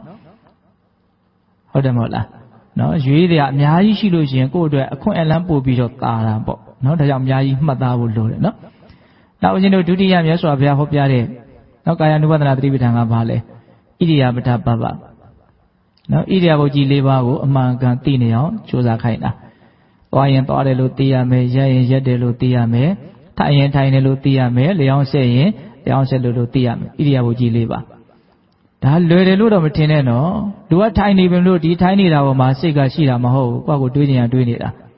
သွားနေပြီလို့သွားနေတဲ့ပုံမှာစိတ်ကရှိတာမဟုတ်ဘူးတွေးကြင်ရတွေးနေတာဟုတ်လားအဲ့တော့ထိုင်နေတဲ့အချိန်မှာဒီခန္ဓာကိုယ်ရဲ့အခြေအနေကဘလို့ဖြစ်နေလဲရက်နေတဲ့အချိန်မှာဒီခန္ဓာကိုယ်အခြေအနေဘလို့ဖြစ်နေလဲဒါကိုအမှန်သိပြီးတော့ဘာလို့ရမှာတော့နေရမှာဟုတ်လားသွားနေရင်ဘလို့တွေဖြစ်နေလဲနောက်ခြေတော့ပေါ်ကြွလာတယ်ရှေ့တိုးလိုက်တယ် အောက်ကိုနင်းချလိုက်တယ်ထိသွားတယ်အပြောင်းလဲတွေကအများအမြဲတမ်းဖြစ်နေတယ်ဒါဒီခန္ဓာရဲ့အမှန်တရားကိုသိဖို့အတွက်ကြိုးစားအထောက်အမဲ့နည်းလမ်းတစ်ခုပေါ့နော်ဣရိယာပုကြီး၄ပါးကိုအခြေခံပြီးတော့သတိထားတဲ့နည်းနဲ့ကြိုးစားမှာဟုတ်လားအဲ့ဒါပါလေဣရိယာပဋ္ဌပေါ့ပြီးတော့ဘာလာတော့ဆိုတော့တာမဇင်ညပပနောက်အသေးစိတ်အမူအရာလေးတွေကိုသတိထားခိုင်းတာမြတ်စွာဘုရားရှေ့တက်တယ်နောက်ဆုတ်တယ်ကိုွေးတယ်ဆန့်တယ်မုန်းတယ်မော့တယ် တဲ့တဲ့ကြည်တယ်တစောင်းကြည်တယ်နော်အသေးစိတ်အမူအရာလေးတွေဟုတ်လားနော်အစားတောက်တွေကိုစားတာတောက်တာရှိတယ်နော်အင်ကြီးတွေဝတ်စားတွေဝတ်တာဆင်တာရှိတယ်နော်ကျင်ကြီးကျင်ခဲစွန်တာရှိတယ်နော်စကားပြောတာရှိတယ်တိတ်တိတ်နေတာရှိတယ်အိတ်တာရှိတယ်နိုးတာရှိတယ်ဟုတ်တယ်မဟုတ်လားဒါလေးတွေကိုမလုပ်အောင်တော့သတိထားခိုင်းတာတမ္ပဇာနာကာရီဟောတိသိလျက်နဲ့ပြုရမယ်တဲ့ကိုဘာဖြစ်နေတယ်ဘာလုပ်နေတယ်ဘာပြုနေတယ်ဆိုတာကိုဘာလုပ်အောင်တော့သတိရှိရမယ်သိလျက်နဲ့ပြုရမယ် နော်အလွန်ရှင်းပါတယ်ဒီစကားလေးကသိလျက်နဲ့ပြုရမယ်ဘာပဲလုပ်လို့အသိပါရမယ်အဲ့ဒါပေါ့မှာဒါလေ့ကျင့်မှသာလျင်လွယ်ကူနိုင်တာနော်အလေ့ကျင့်မရှိဘူးဆိုရင်တော့တတိလက်လွတ်နေမိတာပဲများမနေဘူးလားများနေတယ်အဲ့တော့တတိရှိနေတဲ့အချိန်မှာစိတ်ကဖြူရှင်မှုရှိတယ်ဆိုတဲ့ဟာလေးကိုတော့နားလည်ထားဖို့လိုတယ်နော်ဒါကြောင့်တတိရှိတိုင်းတတိရှိတိုင်းစိတ်ကဖြူရှင်တယ်ဒါကဦးဇင်းတို့တာမစင်ညာပါပါနောက်ဦးဇင်းတို့စိတ်တဲ့ဖြူရှင်ဖို့အတွက်စီကြောရမယ့်နိလန်တစ်ခုကဘာလဲပฏิကူလမနတိကာ ရဟိုဒီနေ့ကတော့နည်းနည်းပြောခဲ့ပါတယ်မိမိခန္ဓာသူတစ်ပါးခန္ဓာရဲ့မတန်ရှင်းတဲ့မစင်ကြယ်တဲ့အခြေအနေမှန်ကိုစဉ်းစားဆင်ခြင်တာနောက်ဆံပင်မွေးခြင်းခြေသီးလက်သီးသွားအရေးနော်ဒါကပါလေတစပင်စကားပေါ့နော်မျက်စိနဲ့ကြည့်ရင်တော့မြင်နေရတဲ့ဒီငါးမျိုးကဟုတ်တယ်မဟုတ်လားနော်အယိုးကိုအမာခံနေရာမှာစိုက်ဆောက်ပြီးတော့အကျိုးတွေနဲ့ဖွက်ချက်ပြီးတော့အသားအသွေးနဲ့လိမ့်ကျင်ပြီးတော့နော်အရည်လူရည်ပါနဲ့အုပ်ပြီးတော့တိဆောက်ထားတဲ့ဒီခန္ဓာအိမ်ကြီးရဲ့အကြောင်းကိုအမှန်ကန်သိအောင်ကြိုးစားတာ နော်ဥကောင်းထဲမှာဘာတွေရှိတော့အုံနောက်တွေရှိတယ်ဟုတ်လားပြင်ကောင်းပိုင်းမှာအစုံနဲ့နှလုံးရှိမယ်နော်ဝမ်းပိုက်ပိုင်းမှာအသေးရှိမယ်နော်အစာရင်ရှိမယ်ဥသိင်ရှိမယ်ဥမရှိမယ်ကိုမဲမဲမောမောဩစားမျိုးဝါတောက်ဝါနော်စားတော့ဝါမျိုးထားတဲ့နော်အစာသစ်တွေရောမရှိဘူးလားရှိရနော်အဲ့ဒီမတန်ရှင်းတဲ့မစင်ကြယ်တဲ့အရာတွေဟာအလုံးမှာတူညီစွာရှိနေတယ်အစံရှိတာမရှိတာ ပညာတတ်တာမတတ်တာလူကြီးတာလူငယ်တာယောက်ျားဖြစ်တာမိန်းမဖြစ်တာဘာကွက်ပြားခြားနားမှုမှမရှိဘူးဟုတ်တယ်မဟုတ်လားနော်ဒီသဘာဝတရားတွေဟာအမှန်တရားပဲပေါ့နော်အဲ့ဒီလိုသွေးတို့ရဲ့အစုဝေးများတာဖြစ်တယ်အယိုးတို့ရဲ့အစုဝေးများတာဖြစ်တယ်အသားတို့ရဲ့အစုဝေးများတာဖြစ်တယ်လို့ဒီခန္ဓာကိုယ်ရဲ့ကုဋ္ဌာတနော်32မျိုးသောအစုအဝေးကြီးကိုအစီတရားမှန်မှန်ကန်ကန်စဉ်းစားရှင်းရှင်းပြီးတော့နေတာအဲမြတ်စွာဘုရားတော့ဥမာလေးပေးပြီးတော့တောင်ဟောတာလေဟိုဦးဇင်းတို့ အဝါနှစ်ဖက်ဖွင့်ထားတဲ့အေကြီးတစ်လုံးကိုအောက်ကအဝါကိုစုစည်းပြီးတော့အဲ့ဒီတဲကိုစံနေသဘာတွေပြောင်းနေနှမ်းနေပဲတွေအစုံထဲဟုတ်လားပြီးတော့အပေါ်ကအဝါကိုထပ်ပြီးတော့ကျိုးနဲ့စီးပြီးတော့ပိတ်ထားလိုက်တယ်။ဝေးရချင်းအိတ်ကြီးတစ်လုံးအပါအိတ်ကြီးမှမသိဘူး။နော်အဲ့ဒါမျက်စိအမြင်ရှိတဲ့လူကအပေါ်ကခြိထားတဲ့ကျိုးကိုဖြေပြီးတော့အဲ့ဒီအိတ်ကြီးတွေကိုလက်နဲ့နှိုက်ပြီးတော့တိတိကျကျကြည့်တယ်။ဒါကတော့ဆံမဲဒါကတော့စဘာပဲဒါကတော့ပြောင်းမဲဒါကတော့နှမ်းမဲလို့ အဲ့လိုကြည့်တယ်လို့မျိုးကိုယ်ခန္ဓာကိုယ်ဟာလည်းတကယ်တကယ်စဉ်းစားကြည့်ရင်အဲ့ဒီအဝတ်နှစ်ဖက်ပိတ်ထားတဲ့အိတ်ကြီးတစ်လုံးနဲ့တူတယ်လို့မြတ်စွာဘုရားဟောတယ်။ဟုတ်လားအသေးစိတ်ကုဋ္ဌာတတွေကိုနားလည်အောင်သင်ယူပြီးတော့မလုပ်အောင်တော့စဉ်းစားရမယ်ရှင်းချင်းရမယ်။ဒါဟာပုဂ္ဂိုလ်တ attva ဆိုတဲ့မှားယွင်းတဲ့အစွဲတွေကိုနေပါစေတယ်ပေါ့နော်။လက်တွေ့ကြတာကိုပြောတာနော်။ဟုတ်လား။ဟောဒီဒေသနာရအခုပြောနေတဲ့ရှုတော်ကနေပြောမယ်ဆိုရင်စိတ်ဓာတ်ကိုဖြူရှင်းတန်ရှင်းစေတယ်။ နော်ဒါကိုစဉ်းစားဆင်ခြင်နေတဲ့အချိန်မှာရာဂဒေါသမောဟ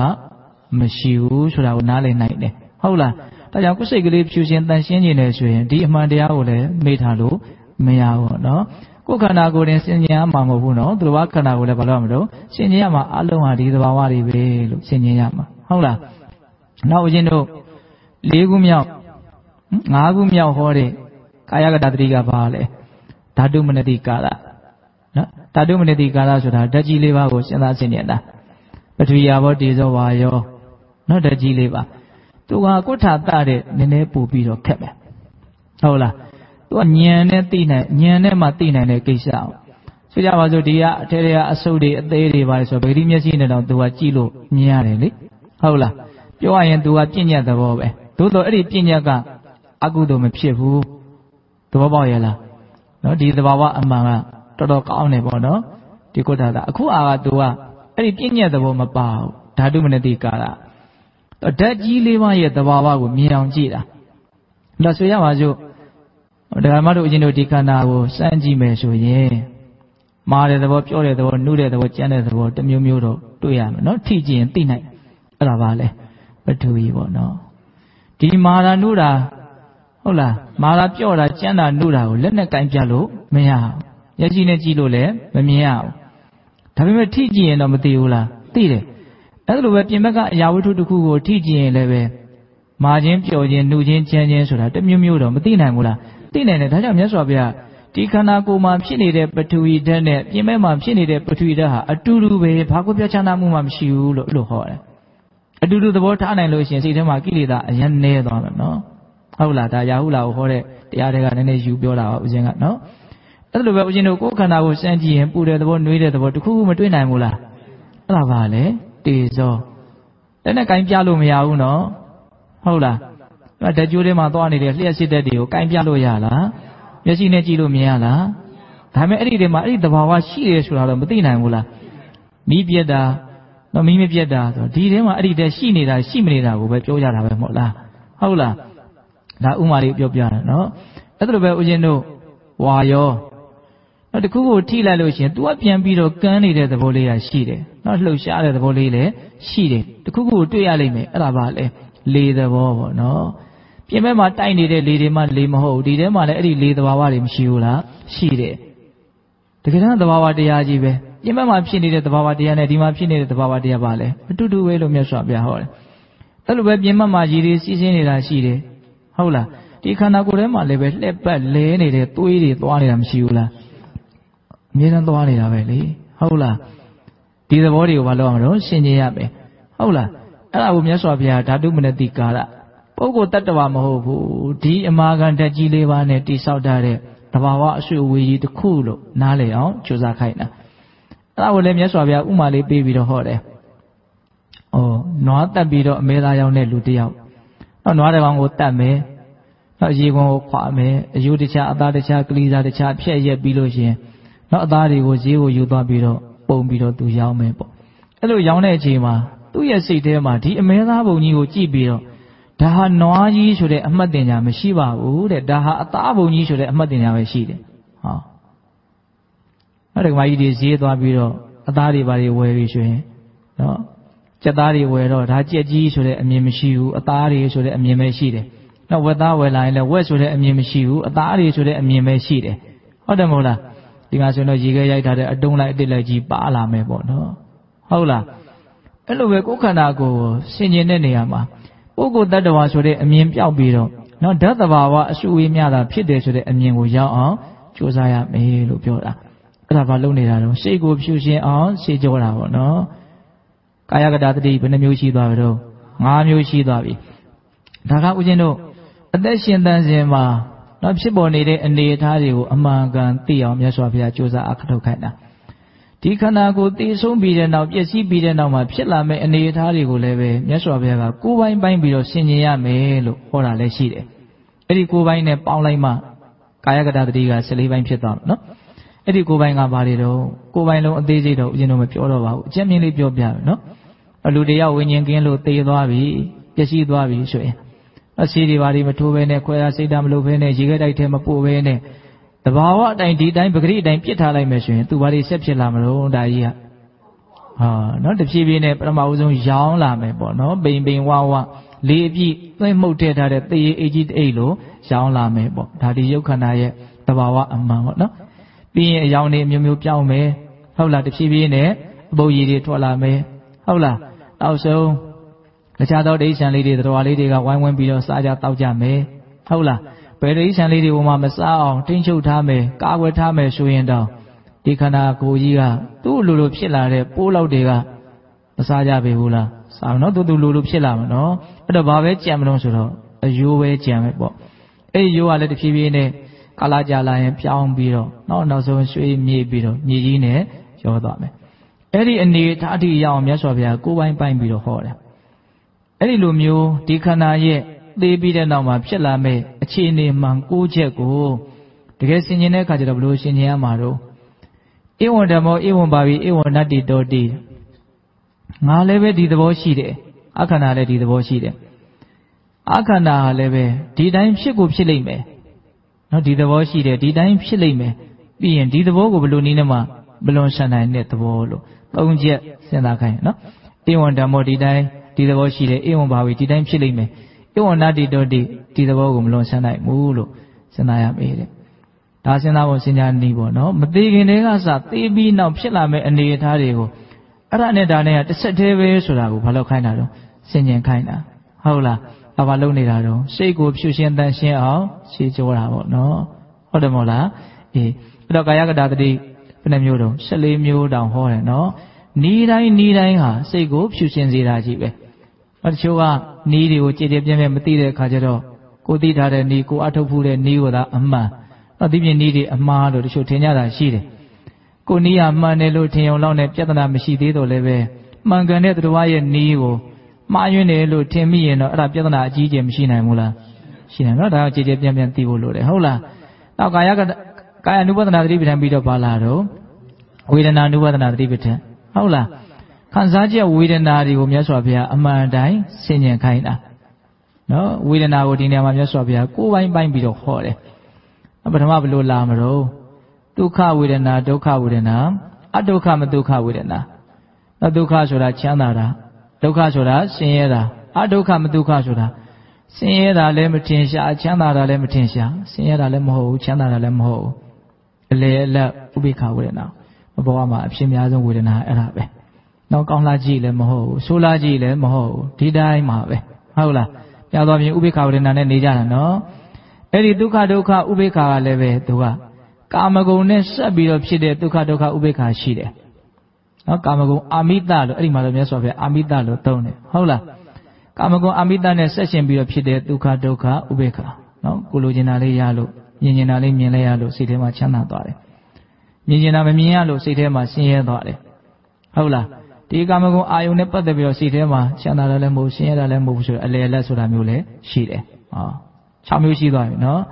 နောက်ကာမဂုဏ်အာယုန်နဲ့မဆက်ဘဲနဲ့ဖြစ်တဲ့ဒုက္ခဒုက္ခဥပေက္ခဆိုတာလည်းရှိသေးတယ်တဲ့တရားနဲ့ဆက်တဲ့ဒုက္ခဒုက္ခဥပေက္ခပေါ့နော်တရားအထုတ်လို့အစဉ်ပြေတယ်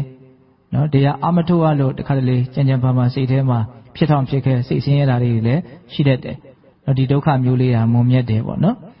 အာတရား ကာမဂုဏ်အာယုန်နဲ့လုံးဝမဆက်တဲ့ဥပိ္ပခါဆိုတာလည်းရှိသေးတယ်အဲ့တော့ဥပိ္ပခါ၃မျိုးဒုက္ခ၃မျိုးဒုက္ခ၃မျိုးအလုံးပေါင်းရင်ဘယ်နှမျိုးဖြစ်သွား၉မျိုးပေါ့နော်အဲ့ဒါတွေကိုပုဂ္ဂိုလ်တ attva မဟုတ်ဘူးဒါဟာခံစားမှုဝေဒနာတက်တက်ပဲလို့အမှန်အကန်သိအောင်တတိနဲ့မလုပ်ရတော့ရှုစားပြီးတော့ရှုမှတ်ကြရတာဟုတ်လားဒါကိုဝေဒနာနုပါဒနာသတိပဋ္ဌာန်နော်နောက်ပြီးတော့ပါလာမလို့စိတ်ဓာနုပဒနာတတိပဋ္ဌာန်မိမိရဲ့စိတ်အခြေအနေ အတွေးတွေပေါ့နော်အစင်မြင်တဲ့စိတ်အစင်နေတဲ့စိတ်နောက်ကောင်းတဲ့စိတ်ဆိုးတဲ့စိတ်ဒါအချင်းမြင်လေးပဲဦးဇင်းတို့ပြောတာပါဟုတ်လားဒီစိတ်အခြေအနေတွေကိုအမှန်အကန်သတိထားပြီးတော့နေနိုင်မယ်ဆိုရင်ဒါဘာလို့နေတာတော့စိတ်ဓာနုပဒနာတတိပဋ္ဌာန်ကိုကြိုးစားတာအဲ့လိုပဲဦးဇင်းတို့အသေးစိတ်တဘာဝတရားလေးတွေနော်အနုစိတ်လာတဲ့ဓမ္မနုပဒနာတတိပဋ္ဌာန်ကြတော့နော်ဒီခန္ဓာမှာဖြစ်ပေါ်ပြောင်းလဲနေတဲ့တဘာဝတရားအနုစိတ်ကလေးတွေကိုသိလာတယ်မြင်လာတယ်နားလည်လာတယ်ဒါလေးတွေကိုသတိထားပြီးတော့နေလာတယ်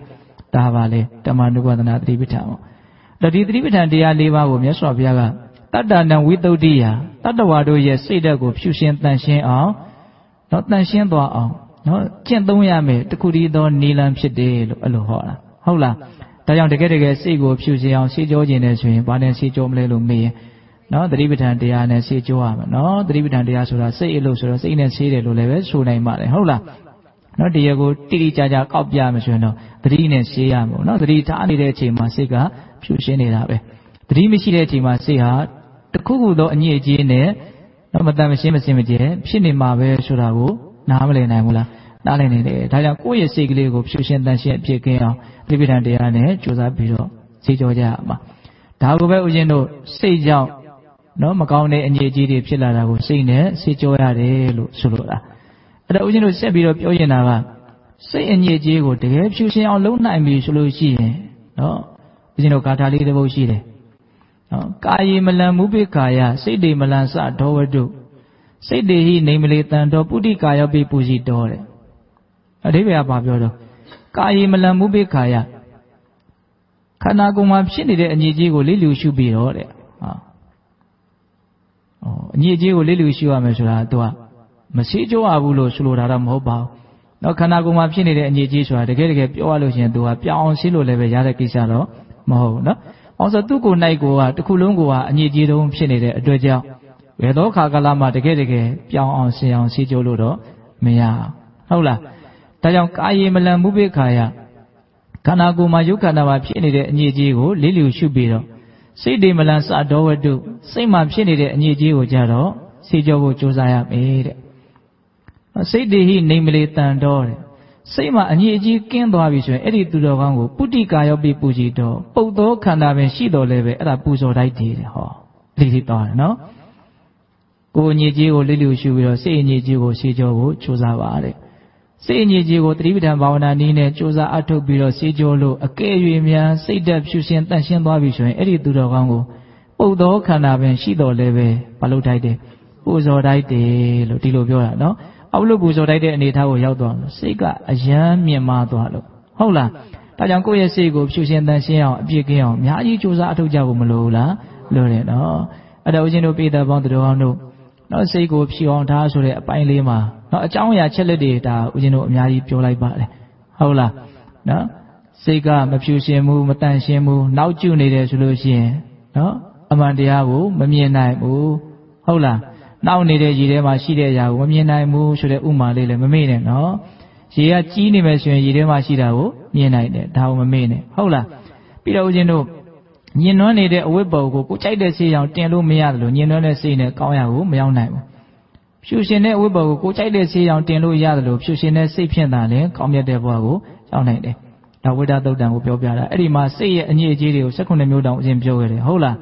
အေးနောက်ပြီးတော့ဦးဇင်းတို့ စိတ်အညစ်အကြေးကိုအစဉ်စဉ်စေကြောနိုင်ဖို့အတွက်ရွှေကျင်တာနဲ့ဥမာပေးပြီးတော့ပြောတာမရှိဘူးလားရှိရနော်အကျဉ်းသားအညစ်အကြေးကိုဖယ်ရမယ်အလတ်စားအညစ်အကြေးကိုဖယ်ရမယ်အနုစားအညစ်အကြေးကိုဖယ်ရမယ်ဟုတ်လားဒုစရိုက်တရား10ပါးကအကျဉ်းသားအညစ်အကြေးပေါ့ကာမဝိတ္တဗျာဝဒဝိတ္တဝိညာဏဝိတ္တကအလတ်စားအညစ်အကြေးပေါ့နော်ညာတိဝိတ္တစနဗရဝိတ္တအနဝဉ္ညတိပရိတန်ဝိတ္တဝိတ္တဆွေမျိုးတွေနဲ့ဆက်ရှင်တဲ့အတွေ့စနေပုံးနဲ့ဆက်ရှင်တဲ့အတွေ့ အထင်မသေးစီလိုမှုနဲ့ဆက်ရှင်တဲ့အတွေ့ဒီအတွေ့တွေကပါလေအနှုစားအညစ်အကြေးပေါ့နော်ဒါကြောင့်ထောကန်ထောကန်ခဏခဏကိုယ့်ရဲ့အညစ်အကြေးကိုတဖြည်းဖြည်းချင်းလေးနဲ့နေနေချင်းနေနေချင်းခဏတိုင်းခဏတိုင်းမလုပ်ရမလို့ဖေရှားဖို့ကြိုးစားမယ်ဘယ်နည်းနဲ့ကြိုးစားမလဲလို့မေးရင်တတိပဋ္ဌာန်ဘာဝနာနည်းနဲ့ကြိုးစားတတိပဋ္ဌာန်ဘာဝနာလို့ဆိုတာစိတ်နဲ့အားထုတ်ရတာဟုတ်လားဒါကြောင့်စိတ်ကြောင့်ဖြစ်တဲ့အညစ်အကြေးကိုစိတ်နဲ့ပဲပြောင်းစင်အောင်ရှင်းကြရတယ်။ရေကြောင့်ဖြစ်တဲ့အညစ်အကြေးကိုရေနဲ့ပဲ ပြောင်းစင်အောင်ရှင်းကြရတယ်။ဒါဆိုခဲ့တဲ့တကားတွေရဲ့အနစ်ချုပ်ပေါ့နော်။အဲ့တော့ဒီနေရာမှာဦးဇင်းတို့ဒီမကောင်းမှုရှောင်ကောင်းမှုရှောင်ဖြစ်အောင်စိတ်ကိုထားဆိုတဲ့အပိုင်း၃ပိုင်းပေါ့နော်စိတ်ဝင်စားတရားကောင်းတာကဒီတတိပဋ္ဌာန်ဘာဝနာနည်းကိုပွားများလို့ရှိရင်စိတ်သက်ဖြူရှင်တန်ရှင်းယုံသာလျင်နော်ဆေးကြောပေးတာမဟုတ်ဘူးနော်မကောင်းမှုကိုလည်းရှောင်ကျင်ပြီးသားဖြစ်သွားစေတယ်ကောင်းမှုကိုလည်းဆောင်ပြီးသားဖြစ်သွားတယ်ဆိုတဲ့အပိုင်းလေးကိုပါပြည့်စုံသွားအောင်တခါတည်းမှတ်စေခြင်းတာဟုတ်လား တတိပဒံဘာဝနာနည်းဟာစိတ်ဖြူဖို့အတွက်တခုတည်းစွန့်ရည်တတိရှိတာမဟုတ်ဘူးမကောင်းမှုကိုပါရှောင်ပြီးသားဖြစ်သွားတယ်ကောင်းမှုကိုပါဆောင်ပြီးသားဖြစ်သွားတယ်ဟိုဘယ်လောက်ထိတောင်မြတ်စွာဘုရားဟောတာလဲနော်ကျန်တဲ့ချိန်လေးမှာဥစဉ်နေနေလေးပြောပြမယ်နော်ဟိုနွေကာလရဲ့နောက်ဆုံးလမှာကောင်းကင်မှာမြူတွေစိုင်းနေတာရှိတယ်တဲ့နော် အဲ့ဒီချိန်မှာအခါမယ်မူးကြီးကတကယ်လို့ဝုန်းနေနေရွာချလိုက်မယ်ဆိုလို့ရှိရင်အဲ့ဒီစောစောကစိုင်းနေတဲ့မြူတွေဟာတခဏချင်းပဲတန့်ရှင်းသွားတယ်ဟုတ်လားစိုင်းနေတဲ့မြူတွေကိုရွာချလိုက်တဲ့မိုးကြီးကဘာလို့တောင်တန့်ရှင်းသွားအောင်ဖယ်ပလိုက်တာအဲ့ဒါမြတ်စွာဘုရားပေးတဲ့ဥမာအောင်အဲ့လိုပဲတတိပဋ္ဌာန်တရား၄ပါးကိုပွားများလို့ရှိရင်ကိုယ့်ရဲ့စိတ်နှလုံးမှာစိုင်းနေတဲ့မြူတွေနဲ့တူတဲ့အကုသိုလ်တွေကိလေသာတရားတွေအညစ်အကြေးတွေအကုသိုလ်တွေကတခါတည်းမှဖြစ်သွား ဖယ်ရှားပြီးသားဖြစ်သွားတယ်တတိပဋ္ဌာန်ရဲ့အစွမ်းကိုပြောတာနော်ဒါကြောင့်တတိပဋ္ဌာန်တရားကိုပွားများလို့ရှိရင်စိတ်ဖြူုံနေမကောက်မကောက်မှုကိုပါရှောင်ပြီးသားဖြစ်တယ်ပယ်ပြီးသားဖြစ်တယ်ဆိုတာလေးကိုနားလည်ရမှာကောင်းမှုကိုရှောင်ပြီးသားဘယ်လိုဖြစ်လဲအဲ့ဒါကိုလည်းဦးဇင်းတို့တတိပဋ္ဌာန်ဝတ်ထဲမှာဥမာလေးပေးပြီးတော့ဟောတာပဲနောက်ကောင်းမှုကိုဘယ်လိုဖြစ်စေသလဲဟိုအထက်မိုးကောင်းငင်မှာလေးမျိုးစုံတိုက်တယ်တဲ့နော်အရှိလေးနောက်လေးတောင်လေးမြောက်လေးလေးချမ်းလေးနုလေးဘူးလေးအေးအမျိုးစုံတိုက်တယ်တဲ့ အဲလိုပဲတတိပဋ္ဌာန်ဘာဝနာတရားကိုပွားများနေလို့ရှိရင်အဲ့ဒီပုဂ္ဂိုလ်ရဲ့တန်တာမှာနော်သမပဋ္ဌာန်တရား၄ပါးအိဋ္ဌိပတ်၄ပါးနော်ဘုံ၅ပါးဣန္ဒြေ၅ပါးဘုဇင်9ပါးမဂ်ခင်10ပါးအစရှိတဲ့ဘောဓိဝက္ခိယတရားတွေဟာအစုံဖြစ်ပေါ်လာတယ်လို့မြတ်စွာဘုရားဟောတယ်နော်အထက်မိုးကောင်းငင်မှာ၄မျိုးစုံတိုက်တယ်လို့ဟုတ်လားတတိပဋ္ဌာန်တရားပွားများတဲ့ပုဂ္ဂိုလ်ရဲ့တဏ္ဍာမှာမြင့်မားတဲ့ဘောဓိပက္ခိယသူတော်ကောင်းတရားတွေကုသိုလ်တရားတွေဟာအမျိုးစုံဖြစ်လာတယ်လို့အဲ့လိုဟောတယ်ဟုတ်လားဒါကြောင့်ဦးဇင်းတို့ ကုသိုလ်ကုသိုလ်လို့နော်ကုသိုလ်တရားကိုမှန်မှန်ကန်ကန်ပြောကျင်တယ်ဆိုရင်တတိပဋ္ဌာန်တရား၄ပါးကိုကုသိုလ်တက်တက်လို့ပြောလိုက်ပါရတယ်ကုသိုလ်ရဲ့အစုအပုံကြီးလို့ပြောလိုက်ပါရတယ်တတိပဋ္ဌာန်တရား၄ပါးတက်တက်သောကုသိုလ်အစုအပုံကြီးဖြစ်တယ်လို့အဲ့လိုလည်းမြတ်စွာဘုရားဟောတယ်ဟုတ်လားဒါကြောင့်ဦးဇင်းတို့ပေးတဲ့ပေါင်းတော်အောင်တို့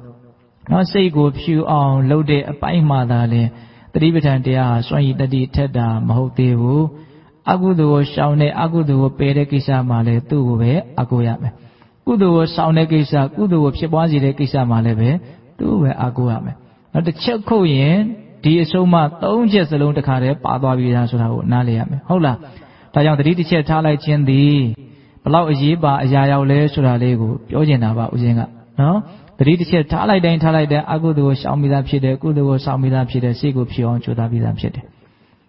နော်ဒါကြောင့်မြတ်စွာဘုရားအစုံအမအနှစ်ချုပ်လို့ဆိုတဲ့မကောင်းမှုရှောင်ကောင်းမှုရှောင်ဖြစ်အောင်စိတ်ကိုထား နော်ဒီသုံးချက်ကိုတကယ်အနှစ်သာရရှိရှိလက်တွေ့ကြကြနောက်ကျင့်သုံးခြင်းလေဆိုရင်ဘာကိုအာကိုရမလို့တတိကိုအာကိုရမှာနော်တတိထားဖို့ပဲရှိတယ်နောက်ကိုယ်ခန္ဓာမှာဖြစ်နေတဲ့သဘာဝတရားတွေကိုတတိထားဖို့ဒါကလွယ်တယ်လို့လည်းမဆိုနိုင်ဘူးခက်တယ်လို့လည်းမဆိုနိုင်ဘူးအလေးအကျင့်မရှိရင်ခက်လိမ့်မယ်အလေးအကျင့်ရှိရင်လွယ်လိမ့်မယ်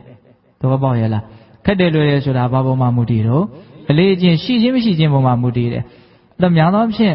တရားဓမ္မတို့ဦးဇင်းတို့တွေကသတိထားတဲ့အလေးကျင့်တွေကနေခဲ့တယ်ဘာနဲ့ပဲနေတာများတော့ပမာဒနဲ့ပဲနေတာများနော်ခပ်ပေါ်ပေါ်ပဲနေလိုက်တာများတတိမပါဘူးတွေးကြင်ရတွေးပြီးတော့ကိုယ်စိတ်ကူးနဲ့ကိုယ်ပဲနေတယ်လို့ဆိုရပါစို့ဟုတ်လားတွေးပြီးတော့နေတာသိပြီးတော့နေတာမဟုတ်ဘူးသတိနဲ့နေတာမဟုတ်ဘူးသတိလွတ်ပြီးတော့နေတာနော်ဒါကြောင့်မို့လို့သတိနဲ့နေတဲ့အလေးအကျင့်ကအားနေတာနဲ့မျှသတိနဲ့မနေတဲ့အလေးအကျင့်ကြီးကလည်းအလေးအကျင့်ကြီးလို့ဖြစ်ပြီးတော့ तू ကဘာဖြစ်နေတော့ အားကောင်းနေအဲ့ဒါရဲ့လွှမ်းမိုးမှုရှိရနော်ဒါကြောင့်သတိလေးထားဖို့ကြိုးစားလိုက်တယ်ကြိုးစားလိုက်တိုင်းသတိလွတ်မှုကြီးကအမြဲတမ်းနောက်ကနေပြီးတော့စီလိုရေလိုအပေါက်ရှာပြီးတော့ဝင်တယ်လို့မျိုး तू ကလည်းပါလာတော့အရှင်ကလိုက်နေတယ်ဟုတ်လားဒါကြောင့်တကယ်တရားအထုတ်တဲ့အချိန်မှာစိတ်ကပြင်းမဲ့ရောက်သွားတယ်ဆိုတာဒါသူ့တဘာဝနဲ့သူပဲနော်တတိလွတ်ပြီးတော့နေတဲ့အလေးအကျင့်ရဲ့လွှမ်းမိုးမှုကိုခံရတာလို့မဆိုနိုင်ဘူးလားဟိုကဒီကမကျွမ်းကျင်သေးဘူးဟိုအကြီးကအရန်ကျွမ်းကျင်နေတယ် အဲ့တော့အဲ့ဒီမွေးရပါပြီကြလို့ပြောရပါစို့ဟုတ်လားတတန်တရားလုံးဝစပါလာတဲ့ဒီအကျင့်စိုးကြီးကဘာဖြစ်နေတော့လွှမ်းမိုးနေတာဒါကြောင့်နည်းနည်းလောက်စူးစမ်းလိုက်ရလိုက်လွတ်သွားလိုက်ဒါကိုစိတ်တက်ကြလို့တော့မရဘူးနော်အဲ့တော့ဒီမှာနားလေစီရင်တာကဘာလဲခန္ဓာမှာဖြစ်နေတဲ့သဘာဝတရားတစ်မျိုးမျိုးဘယ်သဘာဝပဲဖြစ်ဖြစ်ရုပ်ပဲဖြစ်ဖြစ်နာမ်ပဲဖြစ်ဖြစ်ဝေဒနာပဲဖြစ်ဖြစ်ဖြစ်နေတာဖြစ်ပေါ့နော်ဖြစ်နေတဲ့တရားတစ်ခုခုဘာလို့ပဲဖြစ်ဖြစ်သတိသာထားနေလိုက်အဲ့ဒီသတိထားတဲ့အချိန်မှာမကောင်းမှုကိုရှောင်မိသားဖြစ်တယ် ကောင်းမှုကိုစောင့်မိသားဖြစ်တယ်စိတ်ကိုဖြစ်အောင်ကြိုးစားပြီးသားဖြစ်တယ်ဒါလေးကိုအဓိကတော့ချက်အနေနဲ့ပြောချင်တာပါဟုတ်လားဒါကြောင့်ညာတိုင်းကြိုးစားနေတဲ့လုပ်ငန်းစဉ်ဟာမြတ်စွာဘုရားရဲ့အဆုံးအမကိုအနှစ်သာရရှိရှိလိုက်နာနေတာလို့မဆိုနိုင်ဘူးလားဒီအဆုံးအမကိုလိုက်နာတာကိုပဲမြတ်စွာဘုရားကအကောင်းဆုံးပူဇော်တယ်လို့လည်းမဆိုနိုင်ဘူးလားဆိုနိုင်တယ်နော်မြတ်စွာဘုရားသူ့ကိုပစ္စည်းလေးပါးနဲ့ပူဇော်တာကိုဒီလောက်ကြီးတန်ဖိုးထားတာမဟုတ်ဘူးဟုတ်လားပိဋိဘံစံဃာနေမှာနတ်တွေကနော် ပန်းကုန်းကြီးတွေအကြီးတွေနဲ့လာပြီးတော့ပူဇော်ကြတာရှိတယ်လေအဲ့ဒီမှာမြတ်စွာဘုရားဒါတွေနဲ့ပူဇော်တာကငါ့ကိုကောင်းစွာပူဇော်တယ်လို့မဆိုနိုင်သေးဘူးတဲ့နော်မြတ်စွာဘုရားဆုံးမတဲ့အတိုင်းလိုက်နာကျင့်သုံးတဲ့ပုဂ္ဂိုလ်ကသာလျှင်သူ့ကိုအကောင်းဆုံးပူဇော်တာဖြစ်တယ်လို့အဲ့လိုဟောတာရှိတယ်ဟုတ်လားဒါကြောင့်ပိဿပေါင်းတို့အနှစ်သာရရှိရှိဘာသာတရားကိုလိုက်စားတဲ့ပုဂ္ဂိုလ်တယောက်ဖြစ်ဖို့ဆိုရင်အဓိကဘာရှိရအောင်တတိရှိရမှာနော်တကယ်တမ်းကကိုယ့်ကိုယ်ကိုအကောင်းဆုံးဖြစ်အောင်လုပ်ပေးခြင်းဒီပင်လေးရင်ဒါမြတ်စွာဘုရားကိုပူဇော်နေတာပဲ ကိုယ်ကိုကောင်းအောင်မလုပ်ဘူးဆိုလို့ရှိရင်ကိုယ်ဒုက္ခရောက်မယ်ကိုယ်ဒုက္ခရောက်ကိုယ်နဲ့နှိစရလူတွေဒုက္ခရောက်အဲဆိုရင်ကိုယ်ဟာဘာသာတရားကိုလေးလေးနက်နက်လိုက်စားရလဲမရောက်ဘူးလိုက်နာရလဲမရှိဘူးပေါ့နော်ဒါကြောင့်ပိဿပေါင်းတို့ဟောင်းတို့ညာတိုင်းနော်တရားဘာဝနာလေးကြိုးစားအထုတ်ဖြစ်တယ်ဆိုတာအနှစ်သာရရှိရှိမြတ်စွာဘုရားအဆုံးအမကိုလိုက်နာရင်းနဲ့မြတ်စွာဘုရားကိုပူဇော်တာပေါ့နော်ဒါအလွန်ကျင့်တဲ့ဆရာမကောင်းဘူးလားကောင်းတယ်နော်အဲ့တော့ဦးဇင်းတို့အချိန်လဲစေနေပြီဖြစ်တဲ့အတွက်ကြောင့်နော်ညာတိုင်းနော်ဖြစ်သွားအောင်ကြိုးစားကြရအောင်နော်တရားဘာဝနာလို့ကြိုးစားအထောက်ကြရအောင်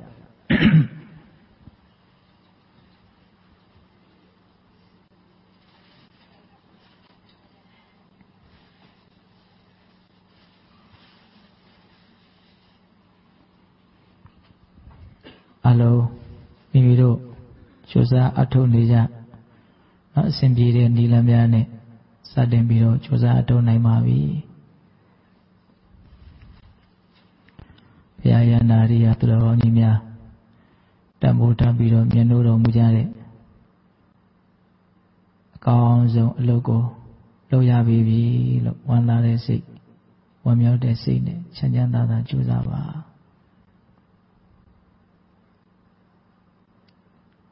ဝင်လေထွက်လေကြောင့်ဖြစ်တဲ့ထိမှုသဘာဝကိုပဲသတိထားထားတခြားခန္ဓာမှာဖြစ်နေတဲ့ ထင်ရှားတဲ့သဘာဝတရားမျိုးမျိုးကိုပဲသတိထားထားဘယ်လိုနည်းနဲ့ပဲကြိုးစားကြိုးစားဖြစ်နေတာတွေကိုသိနေအောင်ကြိုးစားဖို့ကလိုရင်းမှာ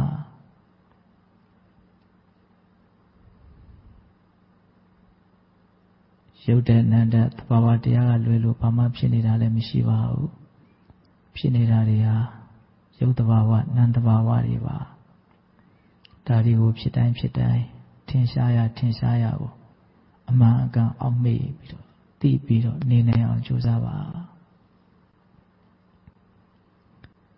နာရီပြားကိုအာယုံပြုပြီးတော့ဝင်လေဝင်တိုင်းထီတယ်ထီတိုင်းသိအောင်လုပ်ပါ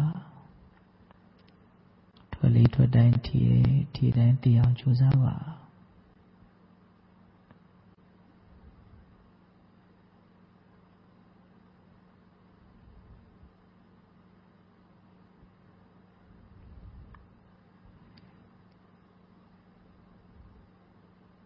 ဝမ်းသာတဲ့စိတ်နဲ့ချမ်းချမ်းသာသာလုပ်ပါဒါပေမဲ့လုပ်တဲ့နေရာမှာတော့တည်တည်ချာချာဂယုတစိုက်လုပ်ပါစိတ်ပါလက်ပါလုပ်ပါရိုးရိုးတည်တည်လေးလေးစားစားလုပ်ပါ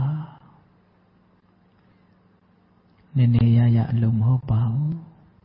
အလုံးလုံးနိုင်ခဲ့တဲ့လုပ်ဖြစ်ခဲ့တဲ့အလုပ်ပါ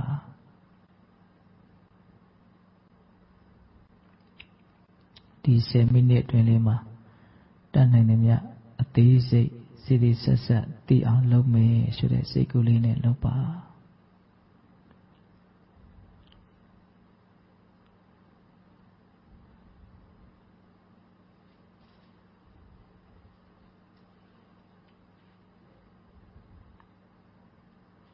ဝင်လေဝင်နိုင်ထီတယ်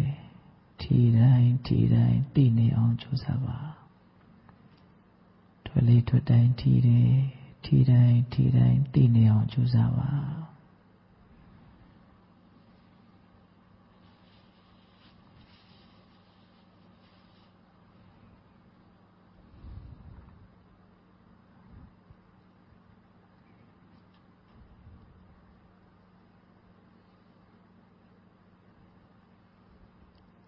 နေရန်တိတိလာမာရဘနေရန်အပေနာထမတာ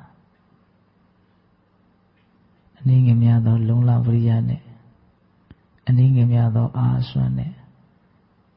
တရားတို့တရားမြတ်ကိုမရနိုင်ဘူးလို့မြတ်စွာဘုရားဟောပါတယ်ဒါကြောင့်အားစိုက်ပါဒါတန်ဖို့အလွန်ကြီးတဲ့အလုပ်ဆိုတာယုံကြည်တဲ့တရားတရားခက်ခိုင်မာမာထားပြီးတော့ဒလဇတ်တည်နေအောင်အားစိုက်ပါ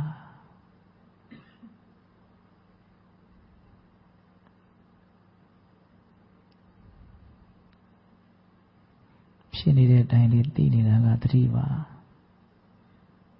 အဲ့ဒီတတိဖြစ်အောင်ကြိုးစားနေတာကဝိရိယပါအဲ့ဒီတတိနဲ့ဝိရိယဖြစ်အောင်တွန်းအားပေးနေတာကတတ္တတရားဆိုတဲ့ယုံကြည်မှုပါဒါကြောင့်ဒါဟာတန်ဖိုးရှိတဲ့အလုပ်ဆိုတာ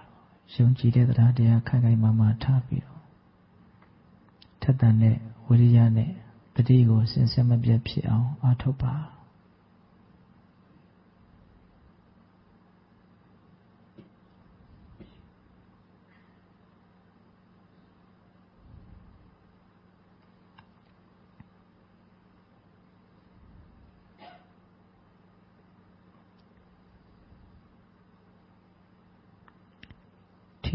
ထိတာကိုတည်တိုင်းတည်တိုင်း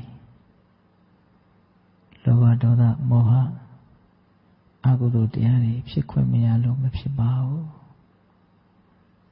ထိတာကိုတည်နေတဲ့အခိုက်အတန့်တွေဟာအကုသိုလ်ကင်းနေတယ်မုံမြတ်တဲ့တတိတွေဝိရိယတွေလည်းဖြစ်နေတယ်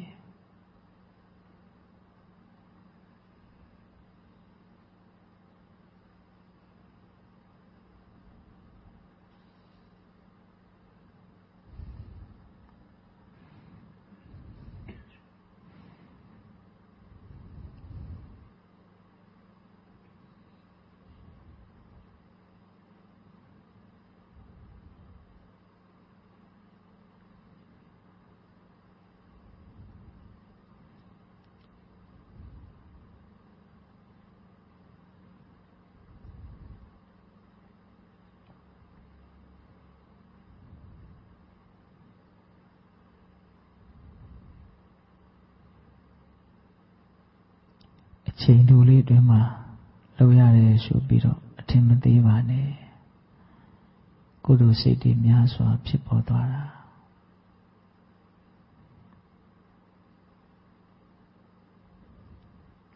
ကုသိုလ်ကလည်းတန်ဖိုးရှိတဲ့ကုသိုလ်ပါ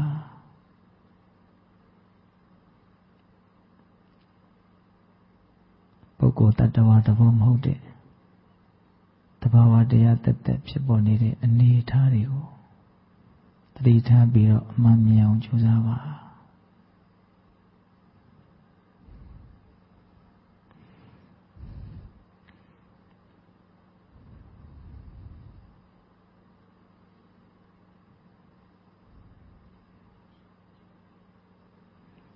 ဝင်လေဝင်တိုင်းထီတယ်ထီတိုင်းထီတိုင်းတည်နေအောင်လုပ်ပါထွက်လေထွက်တိုင်းထီတယ်ထီတိုင်းထီတိုင်းတည်နေအောင်လုပ်ပါ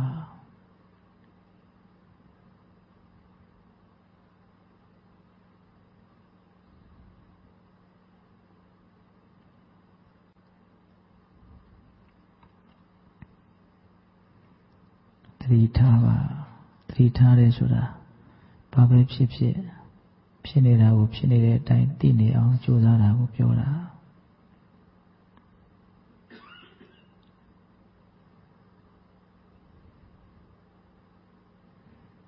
သိနေအောင်လုပ်ပါဖြစ်နေတာတွေကိုသိနေအောင်လုပ်ပါ ဘောဘာတရားတွေဟာအကြောင်းအားလျော်စွာဒလဇတ်ဖြစ်နေတယ်ဖြစ်တိုင်းသိနေအောင်လုပ်ပါအတန်းကြားတာရှိတယ်တွေ့ထိမှုတွေအနှံ့အပြားဖြစ်နေတယ်တွေ့တာကျင်တာတွေဖြစ်နေတယ်ဖြစ်เสียအကြောင်းရှိရင်တားဆီးမရပါဘူးဖြစ်ပါတယ်ဖြစ်နေတာကိုသိနေအောင်လုပ်ဖို့ကလိုရင်းမှာ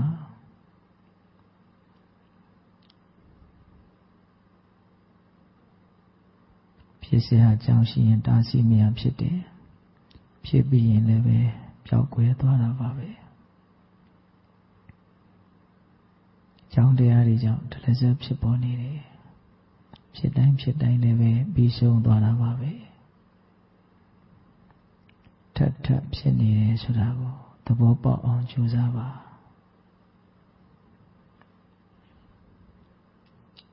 တဘာဝတရားတွေဟာ တလဇက်ထပ်ထပ်အသစ်အသစ်ဖြစ်နေတာ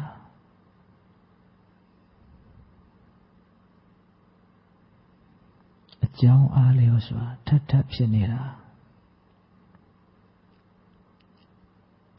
တလဇက်တတိထားပါ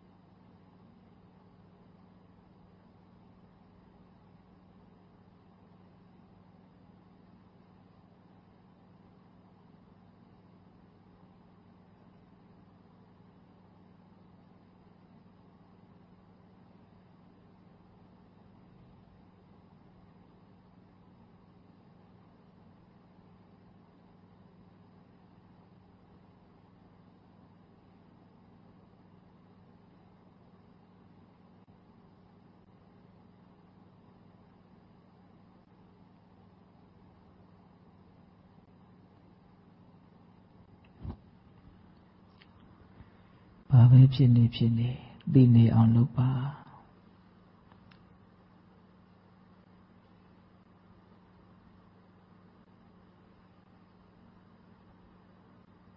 ကြိုးစားပါစိတ်အလိုမလိုက်ပါနဲ့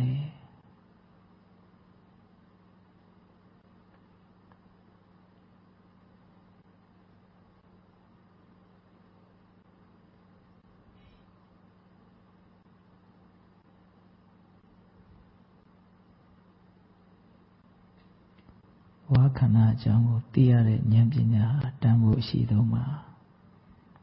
အဲဒီဉာဏ်ပညာကိုရဖို့အတွက်တတိထားနေတာ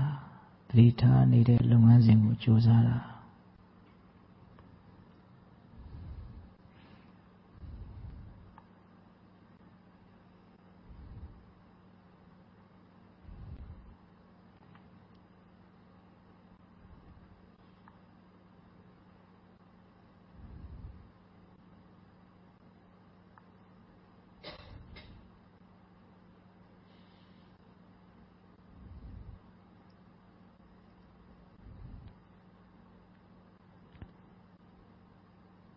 တိဆိုတဲ့သူတော်ကောင်းတရားအလွန်တရားတန်ဖိုးကြီးပါတယ်မကောင်းမှုအကုသိုလ်မဖြစ်ဖို့ဒီတတိကိုပဲအာကိုရတာကောင်းမှုကုသိုလ်ဖြစ်ဖို့ဒီတတိကိုပဲအာကိုရတာကိုယ့်ရဲ့စိတ်ကလေးရာဂဒေါသမောဟအညစ်အကြေးကင်းဖို့လေဒီတတိကိုပဲအာကိုရတာဒါကြောင့်ဒလဇတ်သိနေအောင်အားဆိုင်ပါ ဘာဖြစ်နေသလဲဖြစ်နေတာကိုတလဇတ်သိနေအောင်လုပ်ပါ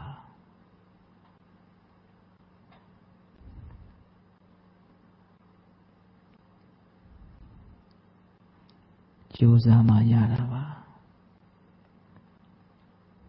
ကိုယ်စိတ်ထဲတခြားတန်ဖိုးရှိတဲ့ထင်တဲ့အရာတွေနဲ့ပတ်သက်ပြီးတော့အများကြီးကြိုးစားခဲ့ဘူးလှပါပြီ သူတော်ကောင်းတရားအတွက်ကြိုးစားတဲ့ဝရိယကမှတကယ်တန်ဖိုးရှိတာ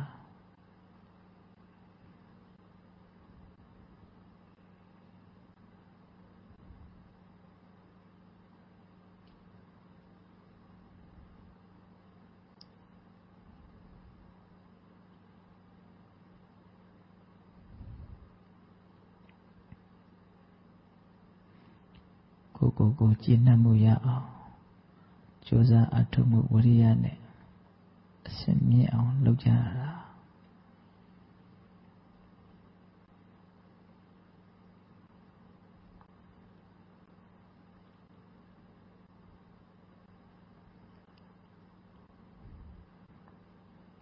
ဖြစ်နေတဲ့အတိုင်းလေးသိနေအောင်ကြိုးစားပါဝင်နေဝင်တိုင်းထီတယ်ထီတိုင်းထီတိုင်းအသေးစိတ်သိအောင်အားစိုက် ထွက်လေထွက်တိုင်းထီတယ်ထီတိုင်းထီတိုင်းအသေးစိတ်သိနေအောင်အားဆိုင်ပါ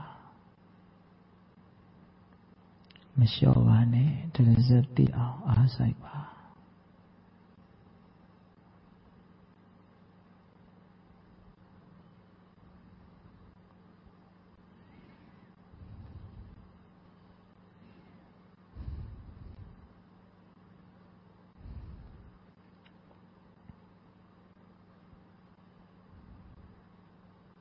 မျိုးမျိုးသောအကြောင်းကြောင့် ဒီအလုတ်ကမလို့ဖြစ်တာပဲများပါတယ်လှုပ်ဖြစ်တုံးလေးမှာစေသေးဆက်ဆက်တည်တည်ချာချာလုပ်ပါ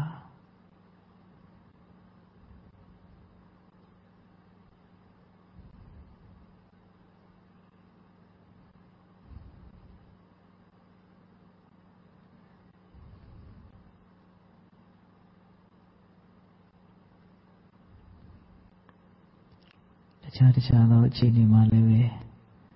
ကိုကလုံနေကြလို့ကျွမ်းကျင်ရင်နေရာတိုင်းမှာအချိန်တိုင်းမှာအနေထားတိုင်းမှာလုပ်လို့ရပါတယ်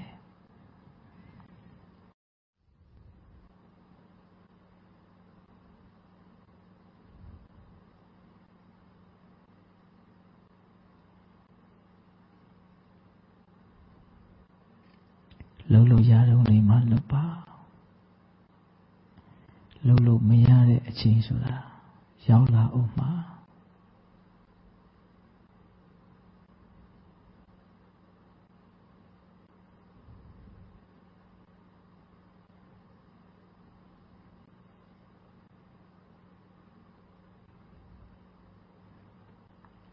အမြဲတမ်းကြီးလှုပ်ခွင့်ရနေမှာမဟုတ်ဘူးလှုပ်လို့မရတော့တဲ့အချိန်ဆိုတာရောက်လာအောင်မှာလှုပ်လို့ ရတုံးလေးမှာကြိုးစားပါ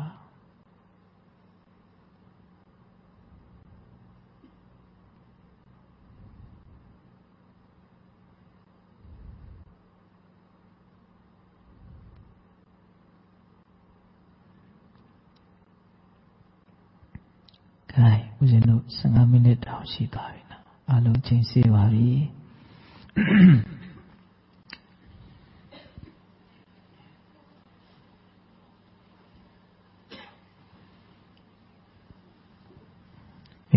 မိမိတို့ပြုလုပ်အထောက်ထားတဲ့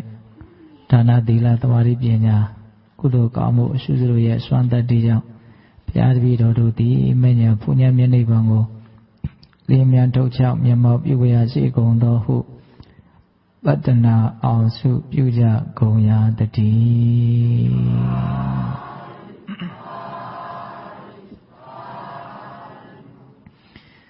အလုံးဆုတောင်းကြအမြဝေကြရအောင်နော်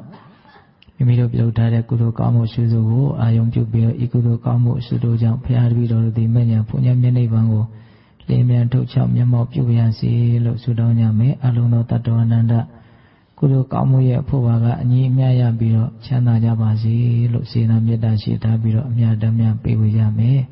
အလုံးညီညာညာလိုက်ပြီးတော့ဆိုကြရအောင်အရှင်ဖေယဘုရားတပည့်တော်တို့သည်ယနေ့ယခု ပြုလုပ်အပ်သောဒါနသီလသမာဓိပညာကုသိုလ်ကောင်းမှုအဆုစုတို့ကြောင့်မဉ္ဇဉ်ဖို့ညာမျက်နှိပ်ပံကိုလင်းမြန်ထုတ်ချမျက်မှောက်ပြုအပ်ပါလို၏အရှင်ဖေဟာဒီကောင်းမှုဤကုသိုလ်တို့ဤအစွမ်း ဖို့ပါကကိုအသက်ထင်ရှားရှိမရှိဖြစ်ကုန်သောဘိုးဘွားမိဘရွှေမျိုးသားချင်းတို့အားအစာထား၍30ဘုံရှင်လီကုန်သောတတ္တဝအနန္တတို့အားထတ်တူထမြပေးဝေငှပါ၏ အမြရကြ၍ကိုယ်စိတ်နှဖြံကျမ်းမာချမ်းသာကြသည်ဖြဖြစ်ကြပါစေသောအာလုံးကြာကြာသမျှအမြအမြအမြယူတော်မူကြပါကုန်လောသာဓုသာဓုသာဓု အာလုံးကြာကြာသမျှအမြအမြအမြရှုတော်မူကြပါကုန်လောသာဓုသာဓုသာဓုအာလုံးကြာကြာသမျှအမြအမြအမြရှုတော်မူကြပါကုန်လောသာဓုသာဓုသာဓု အလုံးကိုယ်စိတ်နှပြချမ်းသာချမ်းသာကြပါစေဗျာ